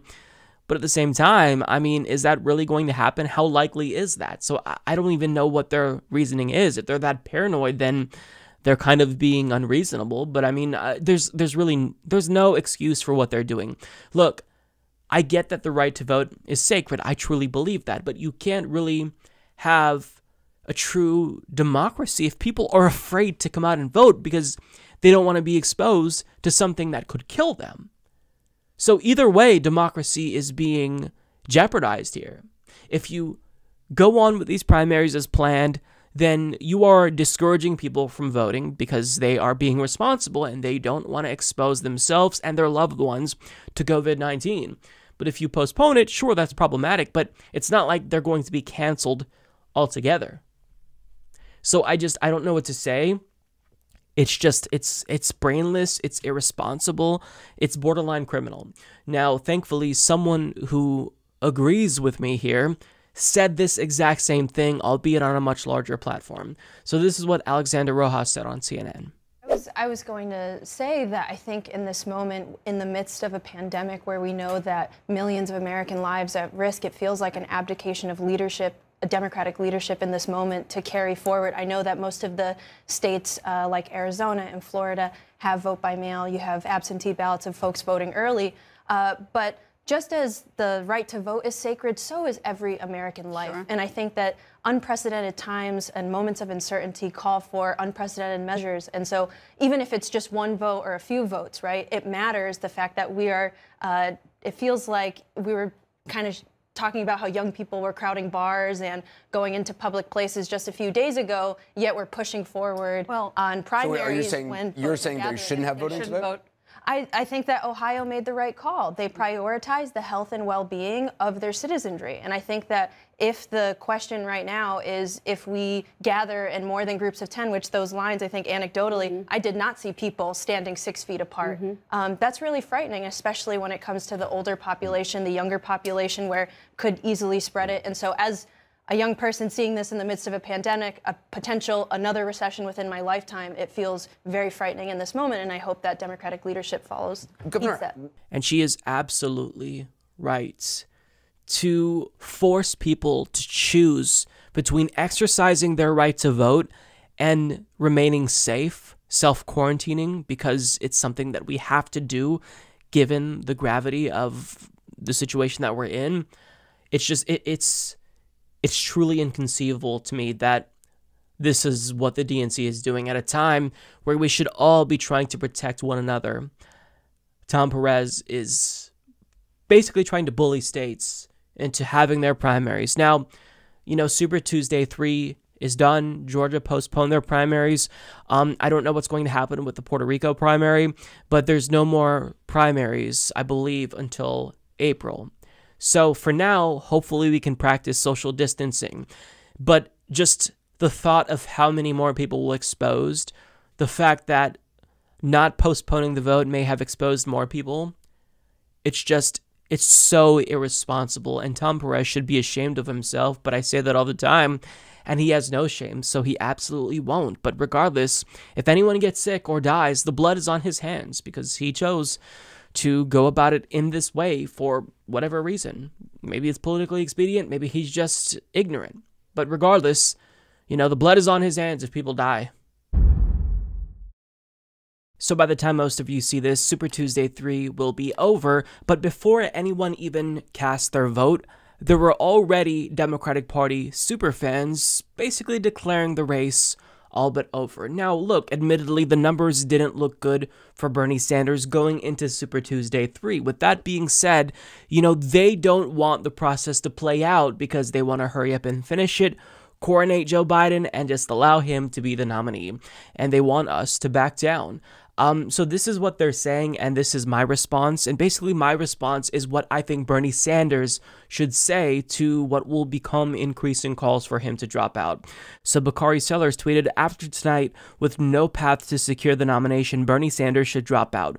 We should proceed to the mission at hand, beating Trump. We don't have time to waste. Getting beat by 10 points plus, I'm being generous, and getting swept isn't a path to winning anything. Jennifer Rubin tweeted out Sanders, by remaining in the race, will prevent Biden from assuming control of the DNC, planning for virtual convention and shifting to an unwieldy general election. He needs to exit today. Period. Now, supposedly, Jennifer Rubin is a conservative, but she's really concerned with what's going on in the Democratic Party primary. Now, also, just ask yourself this if the shoe were on the other foot, would they all be telling Joe Biden to drop out if Bernie Sanders were in this position? Well, no, because after Nevada, when it seemed as if he would secure a plurality of pledged delegates, they were all talking about the prospect of stealing the nomination away from Bernie Sanders at the convention. Everyone in the race, including Elizabeth Warren, said they were going to stay in, rack up as much delegates as they possibly could, and make their case to the superdelegates at the convention. So there was no talk of, you know, letting us focus on the real mission at hand, defeating Donald Trump. They're only saying that now because the guy who they like is winning. These are political hacks. Now, after Super Tuesday 3, we will all see this become more common. More and more Democratic Party loyalists and establishment hacks and news pundits are going to call on him to drop out. And I'll admit, his path to the nomination is diminishing uh, very rapidly. It sucks to say that, but it's true. Um, he's not mathematically eliminated, but it's getting to a point where it's very clear that um, the Democratic Party's base is just coalescing around Joe Biden because they believe the propaganda about him being more electable in spite of the fact that they agree with Bernie Sanders' policies more. But regardless, you know, it seems like Bernie Sanders is not going to win based on the, tra- the trajectory that we're on. So if I'm Bernie Sanders and I hear these calls, what do I do?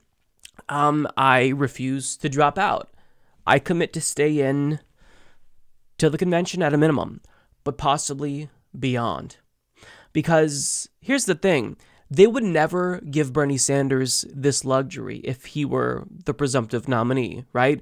Joe Biden said he would contest the convention if Bernie Sanders didn't get a majority of pledged delegates. And here we are in a situation where Joe Biden has not even secured a majority of pledged delegates, and there's already loud calls for Bernie Sanders to drop out. So if I'm Bernie Sanders, I'm saying absolutely not. I will not drop out. And I'll stay in all the way until November if I have to, because guess what? We're all dealing with the severity of COVID 19, and we're responding, I think, in a way that it recognizes the gravity of this situation, but there's another crisis that Joe Biden is refusing to address Medicare for All. A Yale study just confirmed that 68,000 people die every single year due to a lack of health insurance. And that estimate is conservative because when you account for people who are underinsured, the number is probably far higher. So if I'm Bernie Sanders, I'm saying, look, you want me to drop out? I'll drop out. But I need a firm commitment, both in video form and in writing, that Joe Biden will introduce or tell Congress to introduce legislation that is my Medicare for All bill. If he does that, then I'll drop out. And if he doesn't commit to that, then guess what? This is a crisis that so far at this point in time is worse than COVID 19. We have 68,000 Americans dying every single year due, due, to a lack of health insurance. So I can't drop out right now because we need a president who is going to treat this crisis with the seriousness that it warrants. And Joe Biden isn't going to do that. So it looks like I'm going to have to stay in and run independent against Joe Biden and Donald Trump because we can't not have a president who takes this issue seriously. So if I've got to stay in all the way until November, then so be it. Because for Joe Biden to assume the role as Democratic Party nominee and say he'd veto Medicare for all, that's unacceptable. So if he doesn't commit to Medicare for all, I drop out. Now, there's a couple of caveats here. First of all, Joe Biden, even if he committed to Medicare for all, that in and of itself isn't going to guarantee that we get Medicare for all. Of course, I wouldn't even believe him. He'd just be doing it because it's politically expedient in that situation. But the goal is to get him to not veto it at a minimum, right? At least sign it into law if Bernie Sanders, using his influence in the Senate, can somehow get it passed. And this is a long shot, but at the same time, we have to move the Overton window. We have to move the needle. We have to make sure that Americans know what's at stake. People are dying. They may not know anyone who died because they don't have health insurance, no access to health care whatsoever but it could happen to them. So people need to realize the gravity of this situation. Now, I know that Bernie Sanders would never ever threaten to run third party, and he doesn't have to, but he just has to make them think that he's willing to do that if Joe Biden doesn't concede on this one very important issue. And this is why the Republican establishment back in 2015 and 2016, they couldn't actually successfully rig it against Donald Trump in the way that they wanted to because Donald Trump was playing hardball with them. He threatened to run independent. It's why they introduced that bogus loyalty pledge that they made him sign. And then I, I think right after that, he was saying, eh, maybe I'll still run independent. It just depends. So Bernie has got to play hardball, and I know that Bernie won't do this he is too nice of a guy and he doesn't want to risk, you know, um, taking votes away from Joe Biden that would otherwise help defeat Donald Trump. And I get that. I empathize with that situation. He doesn't have to actually run third party, but he has to play hardball and really use the leverage that he has now. That's the thing that's so irritating. Like Bakari Sellers and uh, Jennifer Rubin, they're basically saying, go away, all the leverage that you have throw it in the garbage. Like, do you think that when Obama most likely made that call to Pete Buttigieg and Amy Klobuchar and Beto O'Rourke to come out and endorse Joe Biden, they did it just out of the goodness of their hearts? No, they were expecting something. Now, I don't know what it is. Maybe it's a position in um, Joe Biden's cabinet. Maybe it's the promise to endorse Pete Buttigieg if he wants to run for governor of Indiana. I don't know what it is, but you don't give up your political leverage without getting something in return. So the fact that they would think Bernie would be stupid enough to do the same thing, these political hacks, that is, it's just inconceivable to me. No, Bernie needs to stay in as long as possible because he has a lot of leverage. He has a gigantic movement that Joe Biden and Democrats know they need if they want to win. And if you want to actually try to make a difference, Get Joe Biden to concede. Do not drop out unless he firmly commits, both on video and in writing, to the American people that he will tell Congress to introduce Medicare for all and put it on his desk. If he doesn't do that, then you've got to basically threaten to stay in the race indefinitely. Because, I mean, we have a crisis where thousands of Americans die every single year. Every single year in this country, multiple 9 11s are happening. I mean, what was it, like 3,000 people died on 9 11? 68,000 people are dying every single year, according to this Yale study. Now, you can basically say that the methodology in that study is flawed. You can doubt it. It's a peer reviewed study, but I mean, like, even if we cut that number in half, 35,000 approximately, is that what you want to go on in this country?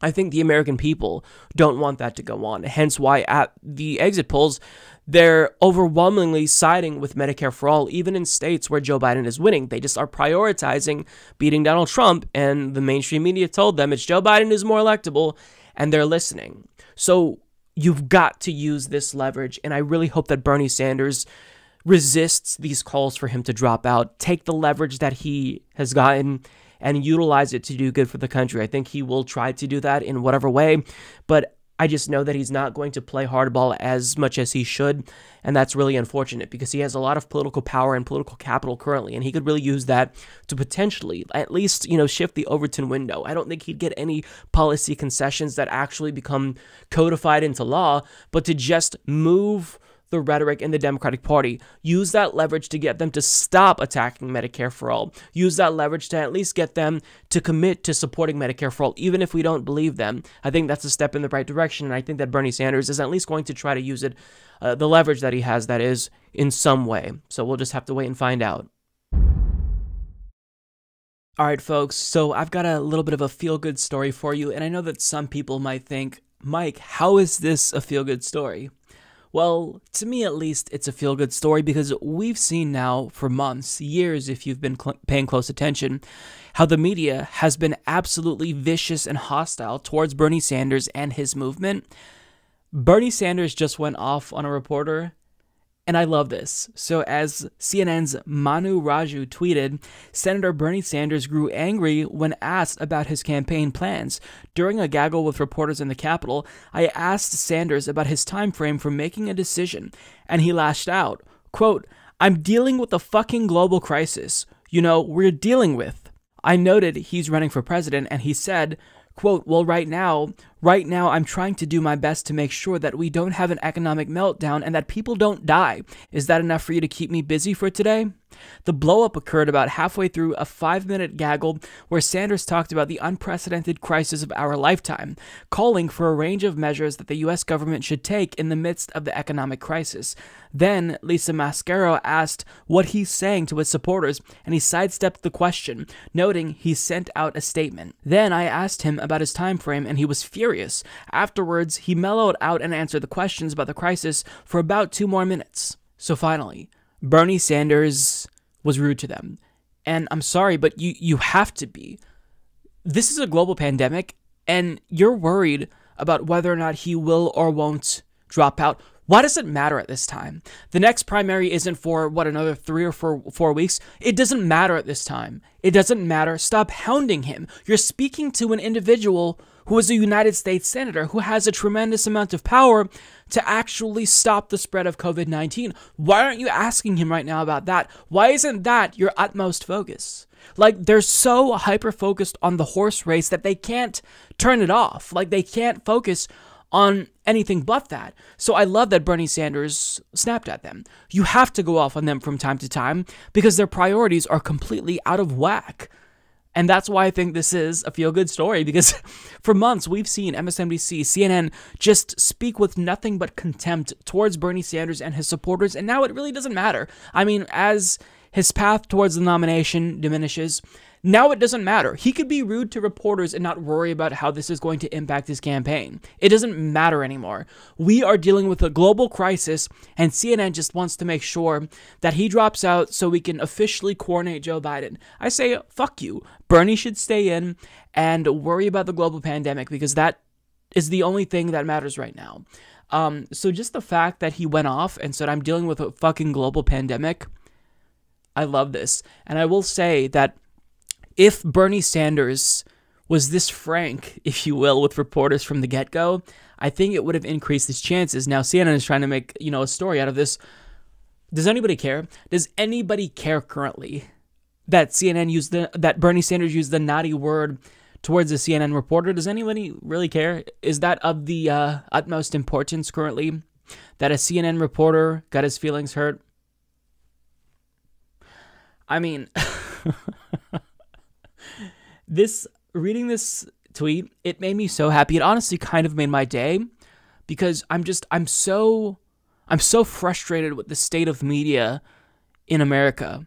You know, I, am not going to, you know, uh, denounce their coverage of COVID nineteen. I think that it's been it's been acceptable, but like in terms of just politics more broadly speaking, they've done nothing but push their own pro corporate agenda. And, you know, now we don't have to play their game because the primary is winding down. We don't have to try to be nice to them. If you're a Bernie Sanders supporter, you no longer have to be on your best behavior for fear of the 15th Bernie Bro article this week being written and maybe featuring one of your tweets. No, we can just be ourselves. Not that we weren't already. I, I was certainly myself. I wasn't gonna um, self censor, but I mean, like, it, it just it doesn't matter. So Bernie Sanders needs to be. He needs to he needs to realize that he is in a position of power and influence, and I think he does. Even if he doesn't become the Democratic Party nominee, he is a leader. He is a leader. And what he says matters. And I think that he needs to realize that people look to him, and even if the media is going to smear him, it doesn't matter because he has enough people on his side to where we trust him and we know that he's looking out for us. So if you have to swat down a question and cuss out a CNN reporter from time to time, do it. Because now it doesn't matter. We're dealing with a global pandemic. All bets are off. Civility and respectability politics, that can all go in the garbage. We just have to make sure that we are focusing on the people. So if you have to force CNN to focus on what matters the most now at this very crucial time in human history, and uh, yelling at them gets them to pay attention to what matters, do it. At a time when all of humanity, every single human being, every single government around the world should be working together to end this global pandemic that is COVID 19 the United States, our government is choosing now to do the unthinkable. So, as many of you know, we have sanctions imposed on Iran, and these sanctions are absolutely brutal. It is leading to people dying. We have sanctions on Venezuela, Iran, and at this time, the best course of action would be to halt those sanctions. Like, if you still believe that the sanctions are something that you want to have in place. I vehemently disagree with you. I think that they are immoral, but for now, at least have the humanity to pause the sanctions while we get COVID 19 under control. But the US government is doing the opposite. On Wednesday, the State Department announced new sanctions on Iran. I repeat, when the world is dealing with a global pandemic, the United States government announced new sanctions on Iran. As Reuters tweeted out, the United States imposed fresh sanctions on Iran, keeping up its economic pressure campaign despite an earlier offer to help Tehran cope with the coronavirus pandemic. So, think about how the sanctions were already impacting the people of Iran before a global pandemic. But now, in the midst of a global pandemic, imagine how much worse off they'll be because of the sanctions, and imagine how it's going to get even worse than it was previously because of this new round of sanctions. Like, this is psychopathic behavior. You can't even really describe it. Like, it's, it's inconceivable that this is what they're choosing to do now. Give it a rest. I mean, we're at war with COVID 19. We're not at war with Iran or any other country, even if the United States government continues to bomb Iraq they're doing that currently. Um, we're at war with COVID 19, and it doesn't discriminate based on countries that are, you know, um, at war with us or are our allies or enemies. This is something that the human species is dealing with. And this is what Trump's government is prioritizing. Now, as Julia Conley of Common Dreams reports, quote, how evil and heartless can this government get? Peace activist Medea Benjamin asked Wednesday after the State Department announced it would impose new sanctions on Iran as the country faces one of the worst coronavirus outbreaks in the world. The move by the U.S. government flew in the face of demands from advocacy groups and the Iranian government to suspend sanctions to ensure Iranians can access life saving medication and supplies. Secretary of State Mike Pompeo announced the U.S. will introduce fresh sanctions on nine entities and three individuals who the U.S. says provide provide the Iranian government with revenue in order to deprive the regime of critical income from its petrochemical industry and further Iran's economic and diplomatic isolation. The move follows rocket attacks on U.S. forces in Iraq, which the Trump administration claims were linked to Iran backed forces. Iran is one of the hardest hit countries in the world by the coronavirus pandemic. More than 17,300 people had tested positive for the respiratory disease at press time, and more than 1,100 have died. Under normal circumstances, U.S. sanctions on Iran which were last strengthened last year, have kept people in the country from accessing medication as well as raising prices on food and rent. As Iran faces the coronavirus outbreak, however, the impacts of the sanctions have been heightened as Iran is left without sufficient testing kits, ventilators, antiviral medicine, and other life saving supplies. The imposition of fresh sanctions as the country battles the outbreak amounts to the U.S., quote, literally weaponizing the coronavirus, said human rights lawyer Arjun Sethi.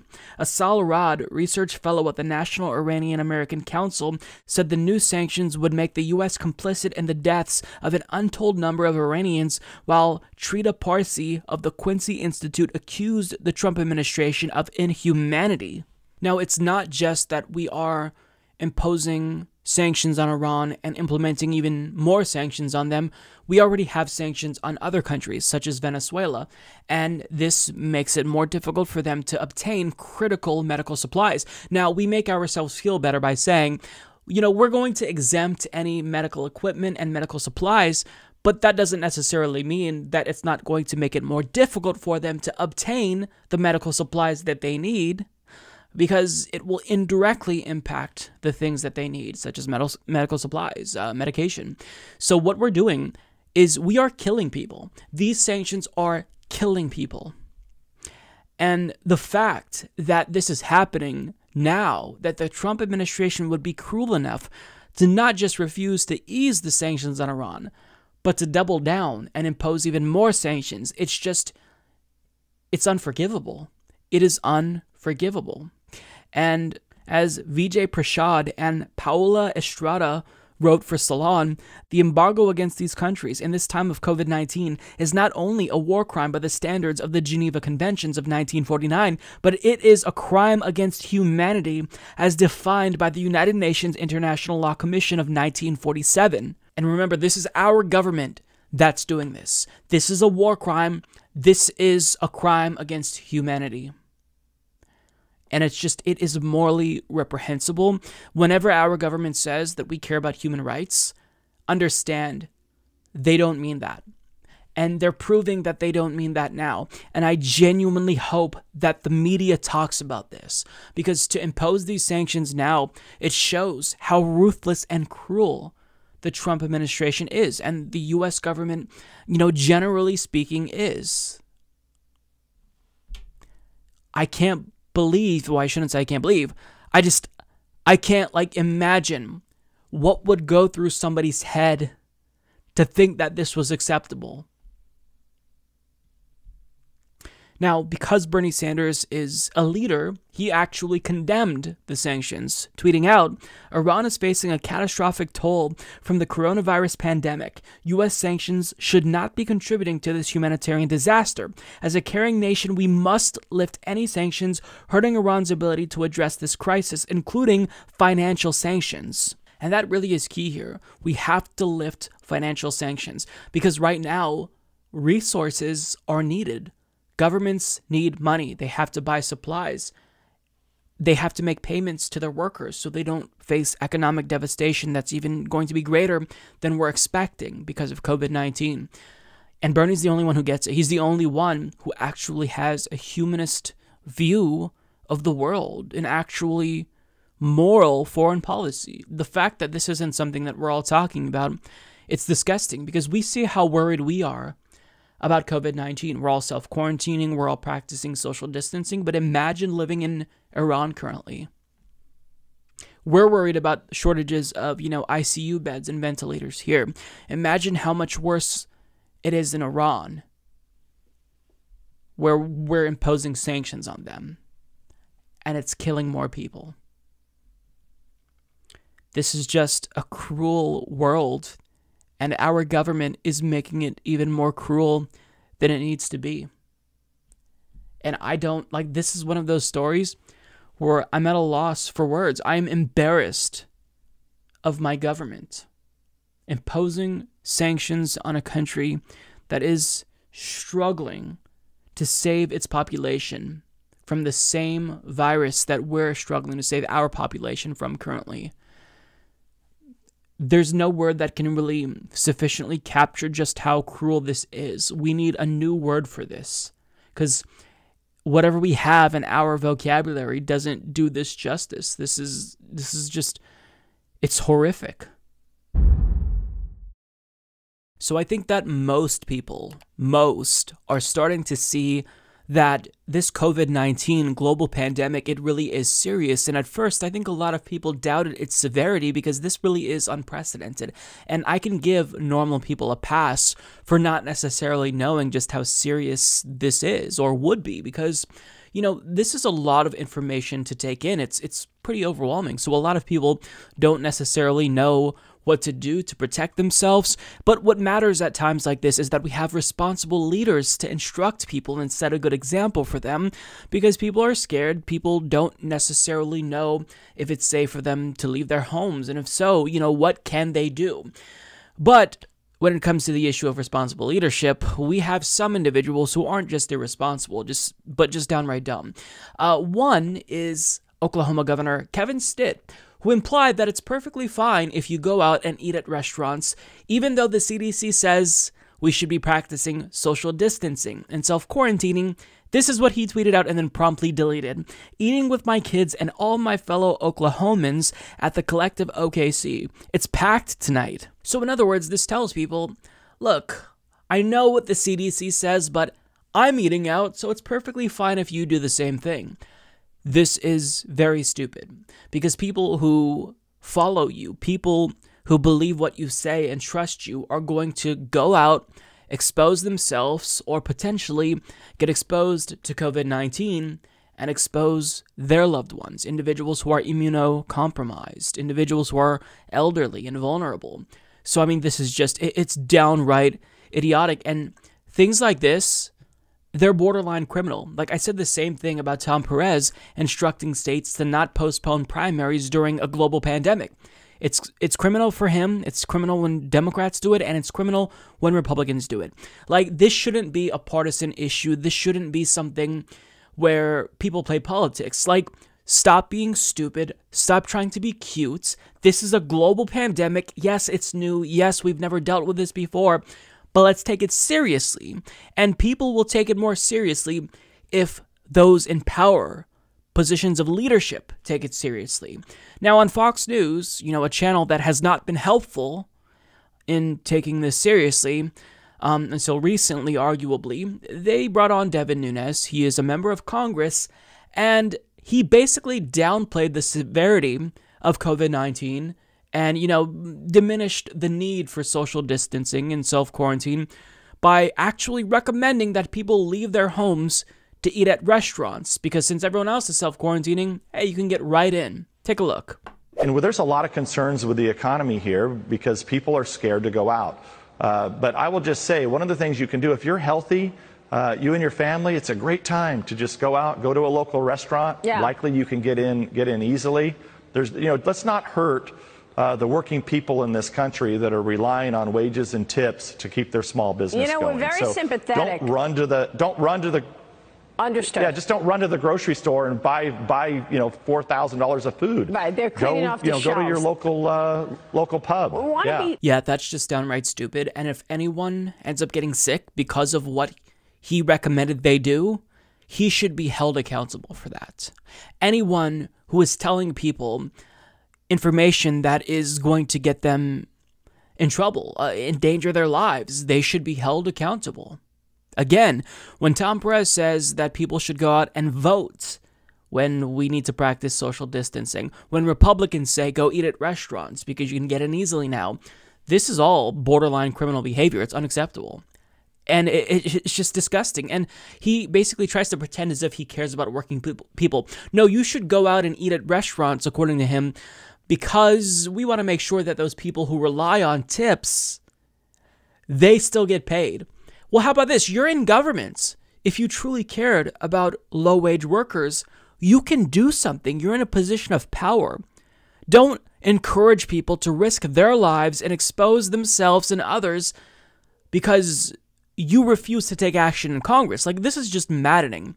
Now, he got a lot of pushback for this, and he kind of started to walk back his statements. And rather than just basically trying to downplay the severity of COVID, now he's saying in this interview with Sean Hannity that actually, you know, the reason why I told them to do that was not because I was diminishing, you know, the severity of this global pandemic, but because it's actually safer for people to go to restaurants. Take a look. We, yeah. we, we have a problem out here because we have people standing in line for 45 minutes at Costco. And so what I was saying is you have empty restaurants. You can go through the drive-through. You can do takeout. Uh, it's a great place to go. Uh, the media freaks can do what they want, but you know they're endangering lives here by by continuing this panic when we have no food shortage in this country. The farmers of America produce an abundant food supply. We have more food than we can eat in this country, and we ought to stop panicking and ensure that people know they don't have to wait in a line at Costco for 30, 45 minutes. They need to stay calm. So the only reason why he told people that we should ignore what the CDC recommends is because it's actually safer for them. Don't listen to the CDC. Listen to David Nunes. That's essentially what he's saying because, you know, waiting in line at Costco, that's a lot more of an issue. You're exposing yourself more than just going to a restaurant. Devin, stop talking. Just stop talking. You can apologize and admit that what you said was irresponsible and dangerous and try to instruct people going forward how to best protect themselves. Again, you're in a position of power. You have a large platform on Twitter, on social media, to where you can reach out to your constituents and help them protect themselves. But now you're trying to do damage control when we, we don't have time for this. We don't have time for this. And he says the media freaks, they're the ones who are endangering lives here by continuing this panic. By reporting what the CDC says, the CDC is telling people avoid crowds that are larger than 50 people. The White House is saying avoid crowds that are larger than 10 people. But Devin Nunes knows more than everyone else. He knows more than the scientists. He knows more than the CDC. And he's saying, you know what? The best way to protect yourself is to go to a restaurant where there's really like closed quarters.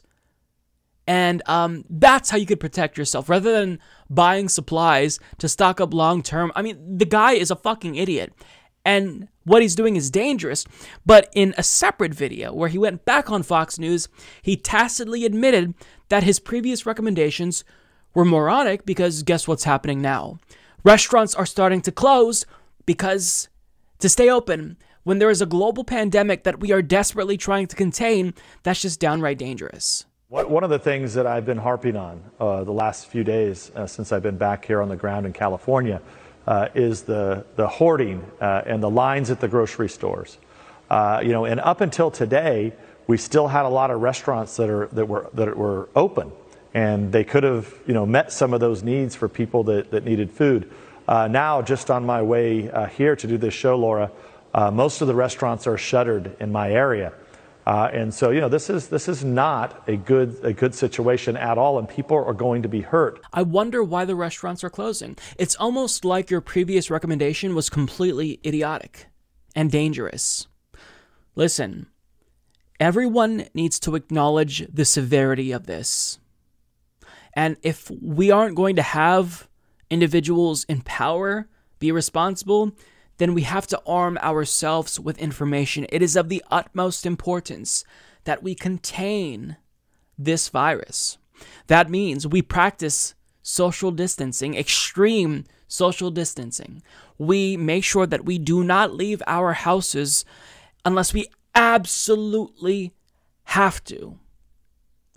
This is something that we are not ready to deal with. Just if you wanted to get a test if you feel symptoms for COVID 19. There's an article in the New York Times that explains just how difficult it is to get a test. So, there's a lot of cases currently. There are deaths every single day in the United States. But whatever the issue is now that we're dealing with, the extent to which we may not know because we're not doing enough tests. So we're kind of operating in the dark and we have to make sure that we put a cap on this, right? We lower the curve so we actually can survive this. Because, I mean, you see what's happening in Italy, and the US is even less prepared to deal with this than Italy is. So we have to be responsible here. Stay home. Some people don't have a choice. Some people cannot stay home. Some people work in emergency services. But if you possibly can, stay home. Ignore idiots like Devin Nunes who just casually suggest that you should go to restaurants because you're going to get in easily. That is deeply irresponsible at this point in time. We all should be practicing self quarantine if we can. And anyone who does this, anyone like Devin Nunes, Tom Perez, who suggests that you should go out and expose yourself potentially to a disease that is fatal in some instances, they are deeply irresponsible and should be held accountable for saying things like this.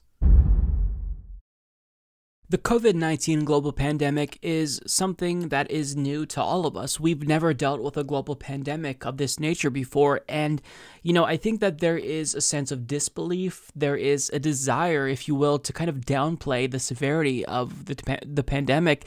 And part of that may be due to ignorance, part of it may be due to cognitive dissonance, but either way, it doesn't matter. You have to make sure that you take all the precautions to not just protect yourself, but others. That means staying the fuck home. But regardless if you know you think that maybe this is just being blown out of proportion, it's a story that's being sensationalized by the media, if you have this sort of mentality, you're going to get us all killed. If I get corona, I get corona. At the end of the day, I'm not going to let it stop me from partying. You know, I've been waiting. We've been waiting for Miami spring break for a while. About two months we've had this trip planned. Two, three months. So we're just out here having a good time. Whatever happens, happens. Like it's really messing up with my spring break. What is there to do here other than go to the bars or the beach and they're closing all of it? It's really messing. I think they're blowing it way out of proportion. I think it's doing way too much. Doing us bad. We need a refund this virus ain't that serious. It's serious. It's more serious things out there like hunger and poverty, and we need to address that. Yeah, I mean, we planned this a long time ago, and it was kind of up in the air if we still go. But like, we're here. I just turned 21 this year, so I'm here to party. So it's kind of disappointing, but we're just making the most of it. We met these other people in our little Airbnb spot, so we're just hanging out with them and trying to get drunk before everything closes. I mean, it sucks, but we're gonna make the best we're of it. Enjoying we're enjoying ourselves. It sucks, and I'm from New Orleans, so this really sucks. However, we're gonna enjoy ourselves. We having day parties all day. It's my birthday, St. Patrick's Day. Turn up. We're just trying to roll with the. Boy. We're just living for the moment. We're just going for. We're just gonna do what happens when it happens. When stuff closes, we're gonna do it when it closes. But uh. I shouldn't be touching my face. Listen, that video made me so, so depressed. like it, it didn't make me angry. It, it just it made me feel like okay, how many people like this are still out there who are this careless, this idiotic? I mean, what the fuck are you doing? You care that much about partying that you're going to expose everyone to COVID 19? First of all, um, let me just say that even if you don't care about getting COVID 19 yourself, even if you're exposed to it and you think you're fine, this is asymptomatic. So you could be exposed to it and then therefore expose other people thinking you're fine, but expose them unknowingly, people who are vulnerable, the elderly, individuals who are um, immunocompromised. And then what's going to happen? You're going to get them sick. And it's not just that you should, you know, um, care about other people, but this is also very serious for young people as well. Because even if it's the case that older people are more vulnerable statistically than young people, that doesn't mean that this doesn't pose a threat to young people. In fact, we're finding out this is very serious even if you are young and healthy. Because as The Hill reports, CDC analysis shows coronavirus poses serious risk for younger people. So let's just pause for a moment and reflect on that. CDC analysis shows coronavirus poses serious risk for younger people.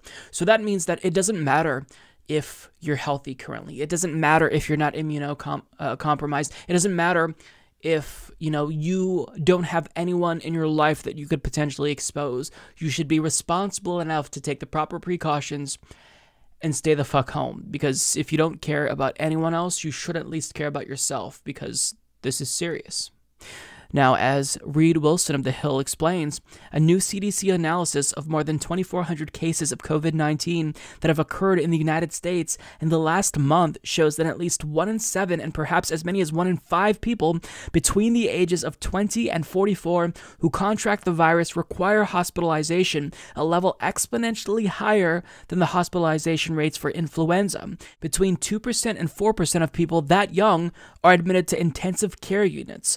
The fatality rate is low, only 0.1% to 0.2%, but it is about two times higher than a bad flu season. Health outcomes are much worse among those who are older and those who have underlying health conditions. The early estimates show that a fifth to a third of those between the ages of 45 and 65 who contract the disease are hospitalized. Among those over 75 years old, hospitalization estimates range from 30% to more than 70%. Among the oldest cohort, those over the age of 85, somewhere between 10% and a quarter of all patients die. The data show adults over the age of 65 account for 80% of the deaths associated with the coronavirus. But younger Americans are contracting the virus at the same rates as those who are older. The initial round of data actually found more people between the ages of 20 and 44 who landed in the hospital than those over the age of 75 who wound up in treatment, even though mortality rates were lower for the younger set. Quote, lots of young people are getting hospitalized, a lot more than we're messaging. And yes, maybe you don't die, but living with a damaged lung or damaged organ is not a good outcome, said Prabhjot Singh, a physician and health systems expert at Mount Sinai Health System and the Icahn School of Medicine. So, do you understand that being stupid, being careless can affect you for the rest of your life? Because if you get hospitalized and you end up surviving coronavirus, this can still do long term damage to your health. Why would you want that? Why would you want that for anyone else? You shouldn't.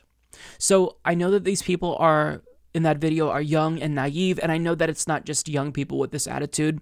I talked about a video where Devin Nunes, a member of Congress, went on Fox News and encouraged people to go to restaurants because since everyone is self quarantining, you can get right in. We have to be responsible, we have to act like adults. This is new to all of us, right? And even though this is something that we can't see, that doesn't mean it's any less of a threat, right? You can be exposed by leaving your home and in turn affect hundreds of people potentially if you are not responsible enough. So I don't care if you don't care about yourself or other people. At least just have the courtesy to be a decent human being and not not do things like this, not expose yourself. I get it, right? It's springtime, spring break is here. You want to go outside, you want to go have fun, but this is serious. This is serious. And I'm glad that seemingly Trump's administration is taking it serious. It took the stock market to crash for that to happen, but nonetheless, like you've got to understand there's a good reason why non-essential businesses are shutting down. There's a good reason why the CDC is telling all of us to stay home. It's because Coronavirus is here, and the United States is uniquely unable to deal with this. So we see what's happening in Italy. I have a video on that. But it could be worse here because of how unprepared we are. We lack the readiness, we don't have the healthcare system that other countries have, so we're not capable of dealing with this and it's going to be bad if we don't put a cap on it, if we don't, you know, lower the curve. So people have got to wake up and they can't be careless. Like, this is the beginning of quarantine. We don't know how long this will last. Maybe two weeks, maybe a month.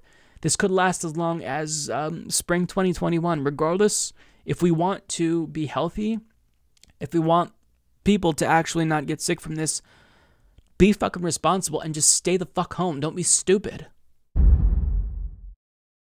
So, aside from the obvious health risks that COVID 19 poses, we're starting to see how this global pandemic is having cascading effects on other areas, right? It's not just impacting the health and well being of Americans and human beings, generally speaking. It is taking its toll on the economy. It's taking its toll on working people who are missing work and now worried about paying rent on April 1st.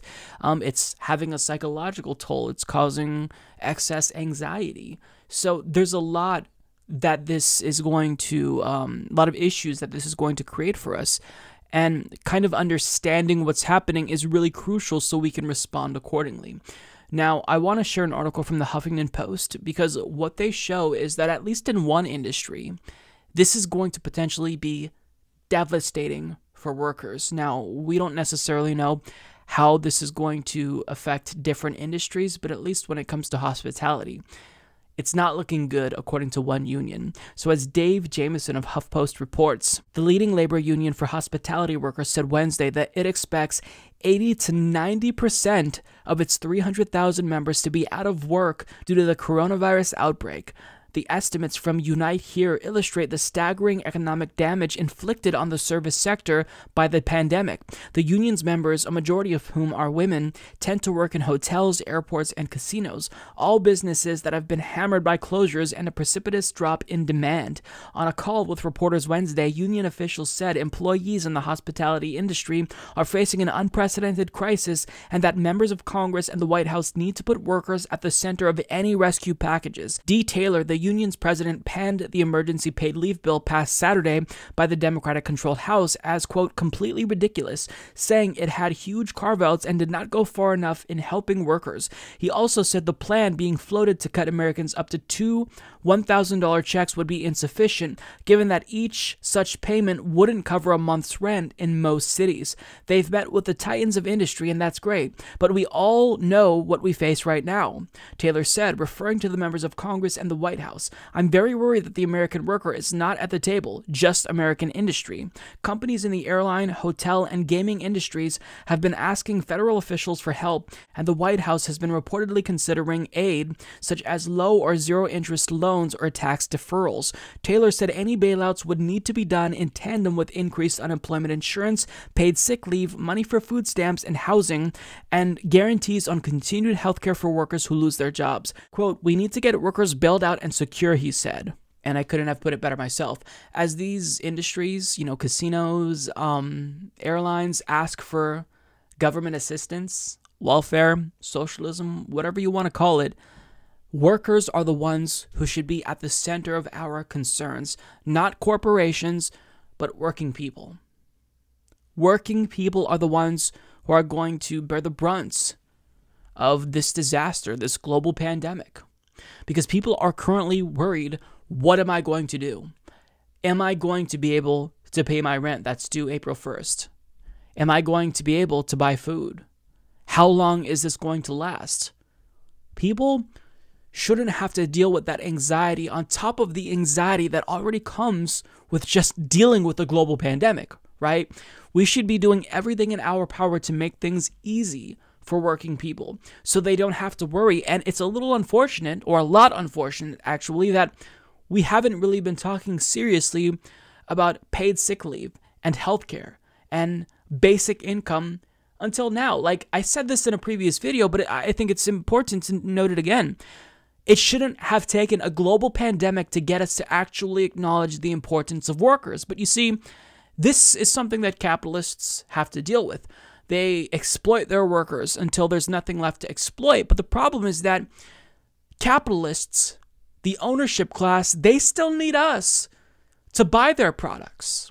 They still need working people to go out and stimulate the economy. But when they can't do that, guess what?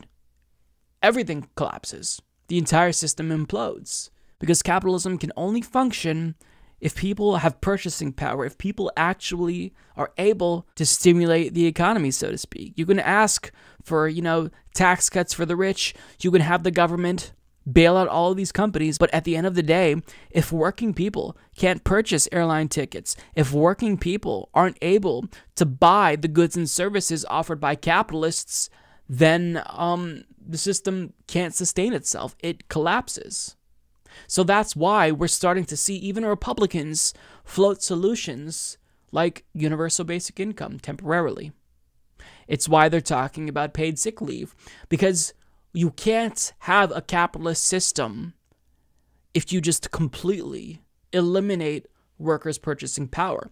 And this pandemic is so serious that it does threaten to do just that, which is why, for the first time in a very long time, we see bipartisan support for bills aimed at helping people.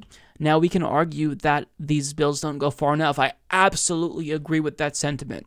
In fact, the House bill did carve out a big loophole for large multinational corporations, and Nancy Pelosi is trying to do everything in her power to make sure nothing gets through unless it's means tested, which is a joke because you can means test it on the back end if you just tax millionaires and large multi- multinational corporations more. You don't need to make it harder for working class people to apply for social safety net programs, uh, make it universal, and just tax the rich. So, I mean, there's issues, right? Congress is still a clown show. But I will say that the fact that they're seriously considering actually passing things that benefit the working people, it goes to show you that they know how serious this is.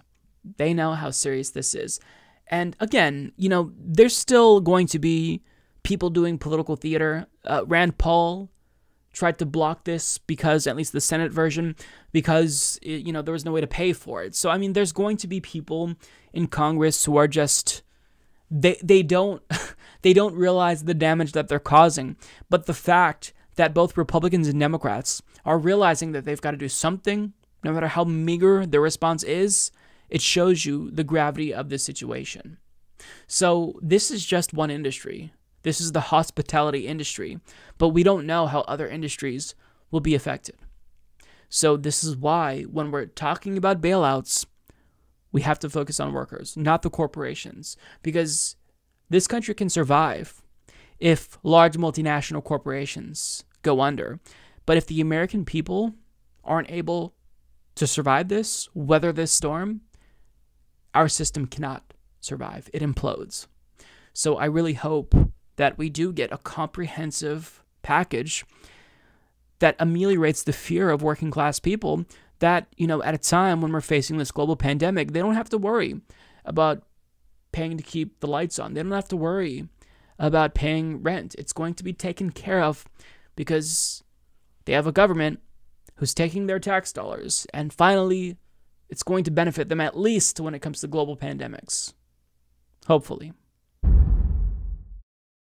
After pledging to run all the way until the convention, Tulsi Gabbard has decided to drop out and endorse Joe Biden over Bernie Sanders. She put out this video today.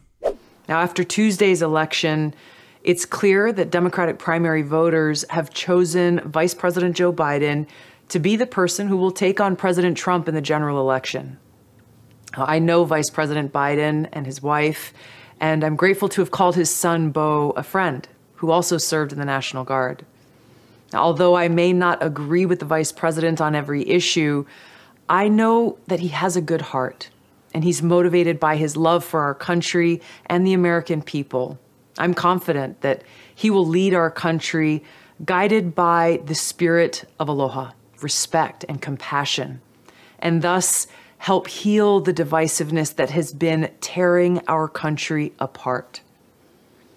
So today, I'm suspending my presidential campaign and offering my full support to Vice President Joe Biden in his quest to bring our country together.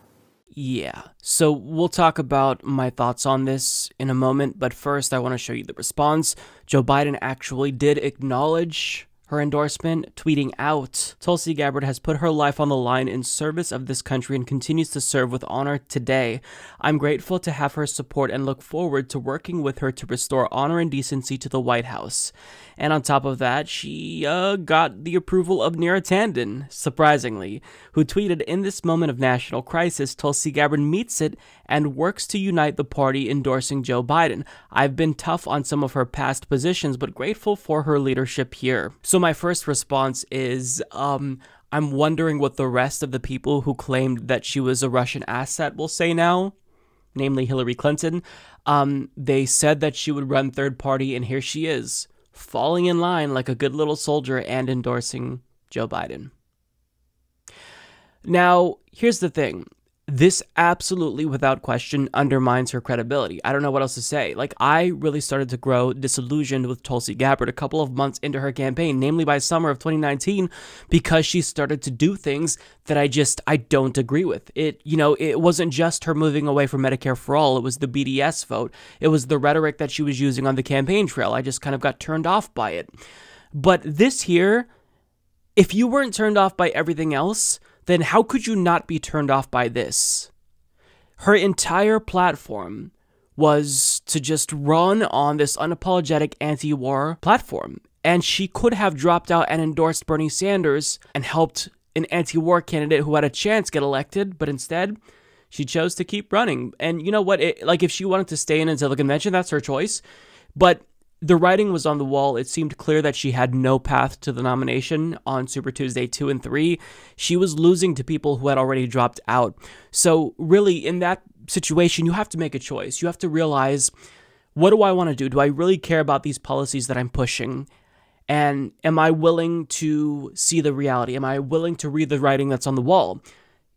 If she dropped out and endorsed Bernie Sanders, like she did in 2016, which I appreciate, I think that that would have proven that she's principled and she cares. But she chose, at a time when there are still two candidates left, to endorse the one who is not anti war.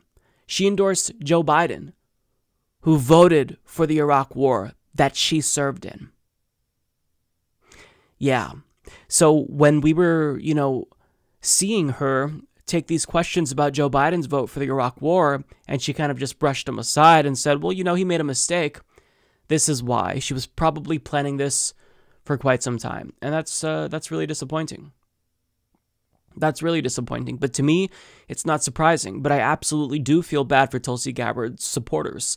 Um, and I've clashed with them because I've been critical of Tulsi Gabbard. But anytime I see people who truly believe in a candidate get their hearts broken, it, it does suck. It does suck. And it's happening to us right now, right? Bernie Sanders supporters, uh, Tulsi Gabbard supporters, Andrew Yang supporters, even Marianne Williamson supporters, Mike Gravel supporters. We all got beat by the establishment. All of us did.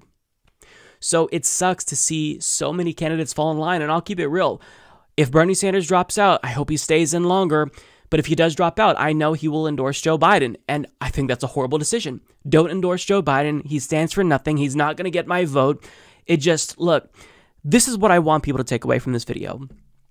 Um, we have to realize that political leaders, at some point in time, they're most likely going to let us down. But we have to realize that we are the ones that have to keep fighting. We can't let people running for president or running for Congress divide us because at the end of the day, all of the anti establishment people, we are a block, right? And we have policies that we care deeply about, hence why we support specific candidates. If you support Tulsi Gabbard, being anti war is probably your number one issue. If you support Bernie Sanders, Medicare for All is probably your number one issue. If you support Andrew Yang, obviously UBI is your number one issue. So I do think that people need to realize that all of these squabbles that happen during the primary, you have to try to put that aside and work with these people um, who are anti establishment because look what just happened throughout the course of the 2020 primaries. The establishment came together and absolutely steamrolled us. That's what happened. So going forward, we have to try to be a unified front and take on the establishment and really be cognizant and mindful of all of these policies that we all want to see. No more wars, universal basic income, Medicare for all. And let me just say this because a lot of people were disappointed by my coverage of Tulsi Gabbard because I was seen as overly critical. Now, I actually went through all of the videos that I posted after she announced her run for the president, and I was actually overwhelmingly positive. But people thought that I was a little bit too unfair to Tulsi Gabbard, and that my critiques of her were in bad faith. But now, like, there's nothing to lose. Like, Bernie is losing, Tulsi's out, Yang's out, so there's nothing to lose. So I have nothing to gain by lying. My criticisms of Tulsi Gabbard were all in good faith. My criticisms of her were based specifically on policy, and I knew that, you know, criticizing someone who's popular online like Tulsi Gabbard, even Andrew Yang, that is going to be something that gets me criticism, but I can't I can't lie.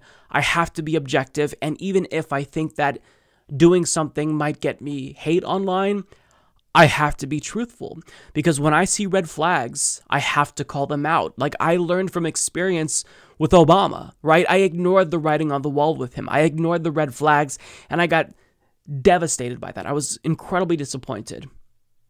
So I try to help people, you know, understand what these moves are, why you have to read a little bit more into the language that politicians use because oftentimes they use doublespeak. And, you know, some people don't see it that way. A lot of people thought that I was being overly critical. But it wasn't like I was just trying to tear down candidates like Tulsi Gabbard and Andrew Yang at the behest of Bernie Sanders. I was trying to be objective, even if people don't think that that's what I was trying to do. I have my criticisms of Bernie Sanders as well. But I just wanted to make sure that we push the Overton window as far left as we possibly could. Um, and so it, it, sucks. And look, I'll, I'll just say this Marianne Williamson was also criticized uh, by me because she backed away from Medicare for All. And now she's kind of the only one who showed she's principled by endorsing Bernie Sanders over Joe Biden. Although I can't really support her in the future if she doesn't back Medicare for All because, like you, I have standards. I have standards, right? So it's not like I'm trying to tear these candidates down because I want to boost Bernie Sanders. I support the person who I think is the best. This may be subjective, but this is my view. And just to like show you, like I donated to all of the anti-establishment candidates from the get-go because even if I knew I would support Bernie because I agreed with him on more issues, I like I wanted the left and the anti-establishment candidates to monopolize discourse. I bought a uh, Andrew Yang button. I bought a Tulsi Gabbard button. Um, I bought their shirts. I bought the uh, Yang shirt, which is actually very comfortable material, by the way. Um, I bought the Tulsi Gabbard shirt. Like, I genuinely wanted to support these candidates, even if I wasn't going to vote for them. Because, like, with Tulsi Gabbard, I mean, it's like, well, you endorsed Bernie in 2016. Um, let me help you out by donating to and buying a shirt, you know, just to give you a boost. Andrew Yang supports UBI, so do I. I don't necessarily agree with his implementation of UBI. I want it to stack on top of existing social safety net programs, but just the fact that you're getting this conversation out there is important. You know, here's a couple bucks, let me buy a pin and a shirt. Um, and, and this is something I shouldn't admit. I'm actually embarrassed about this, and I was reluctant to do, do this, but I did. I bought a set of three Warren pins at the very beginning, and um, I bought a Warren shirt. I bought a Warren shirt too. So the good news is that during, you know, social distancing and self quarantine, with this toilet paper shortage, if I do run out of toilet paper, I've got a lot of toilet paper right there. And the Warren one will be the first that I wipe my ass with.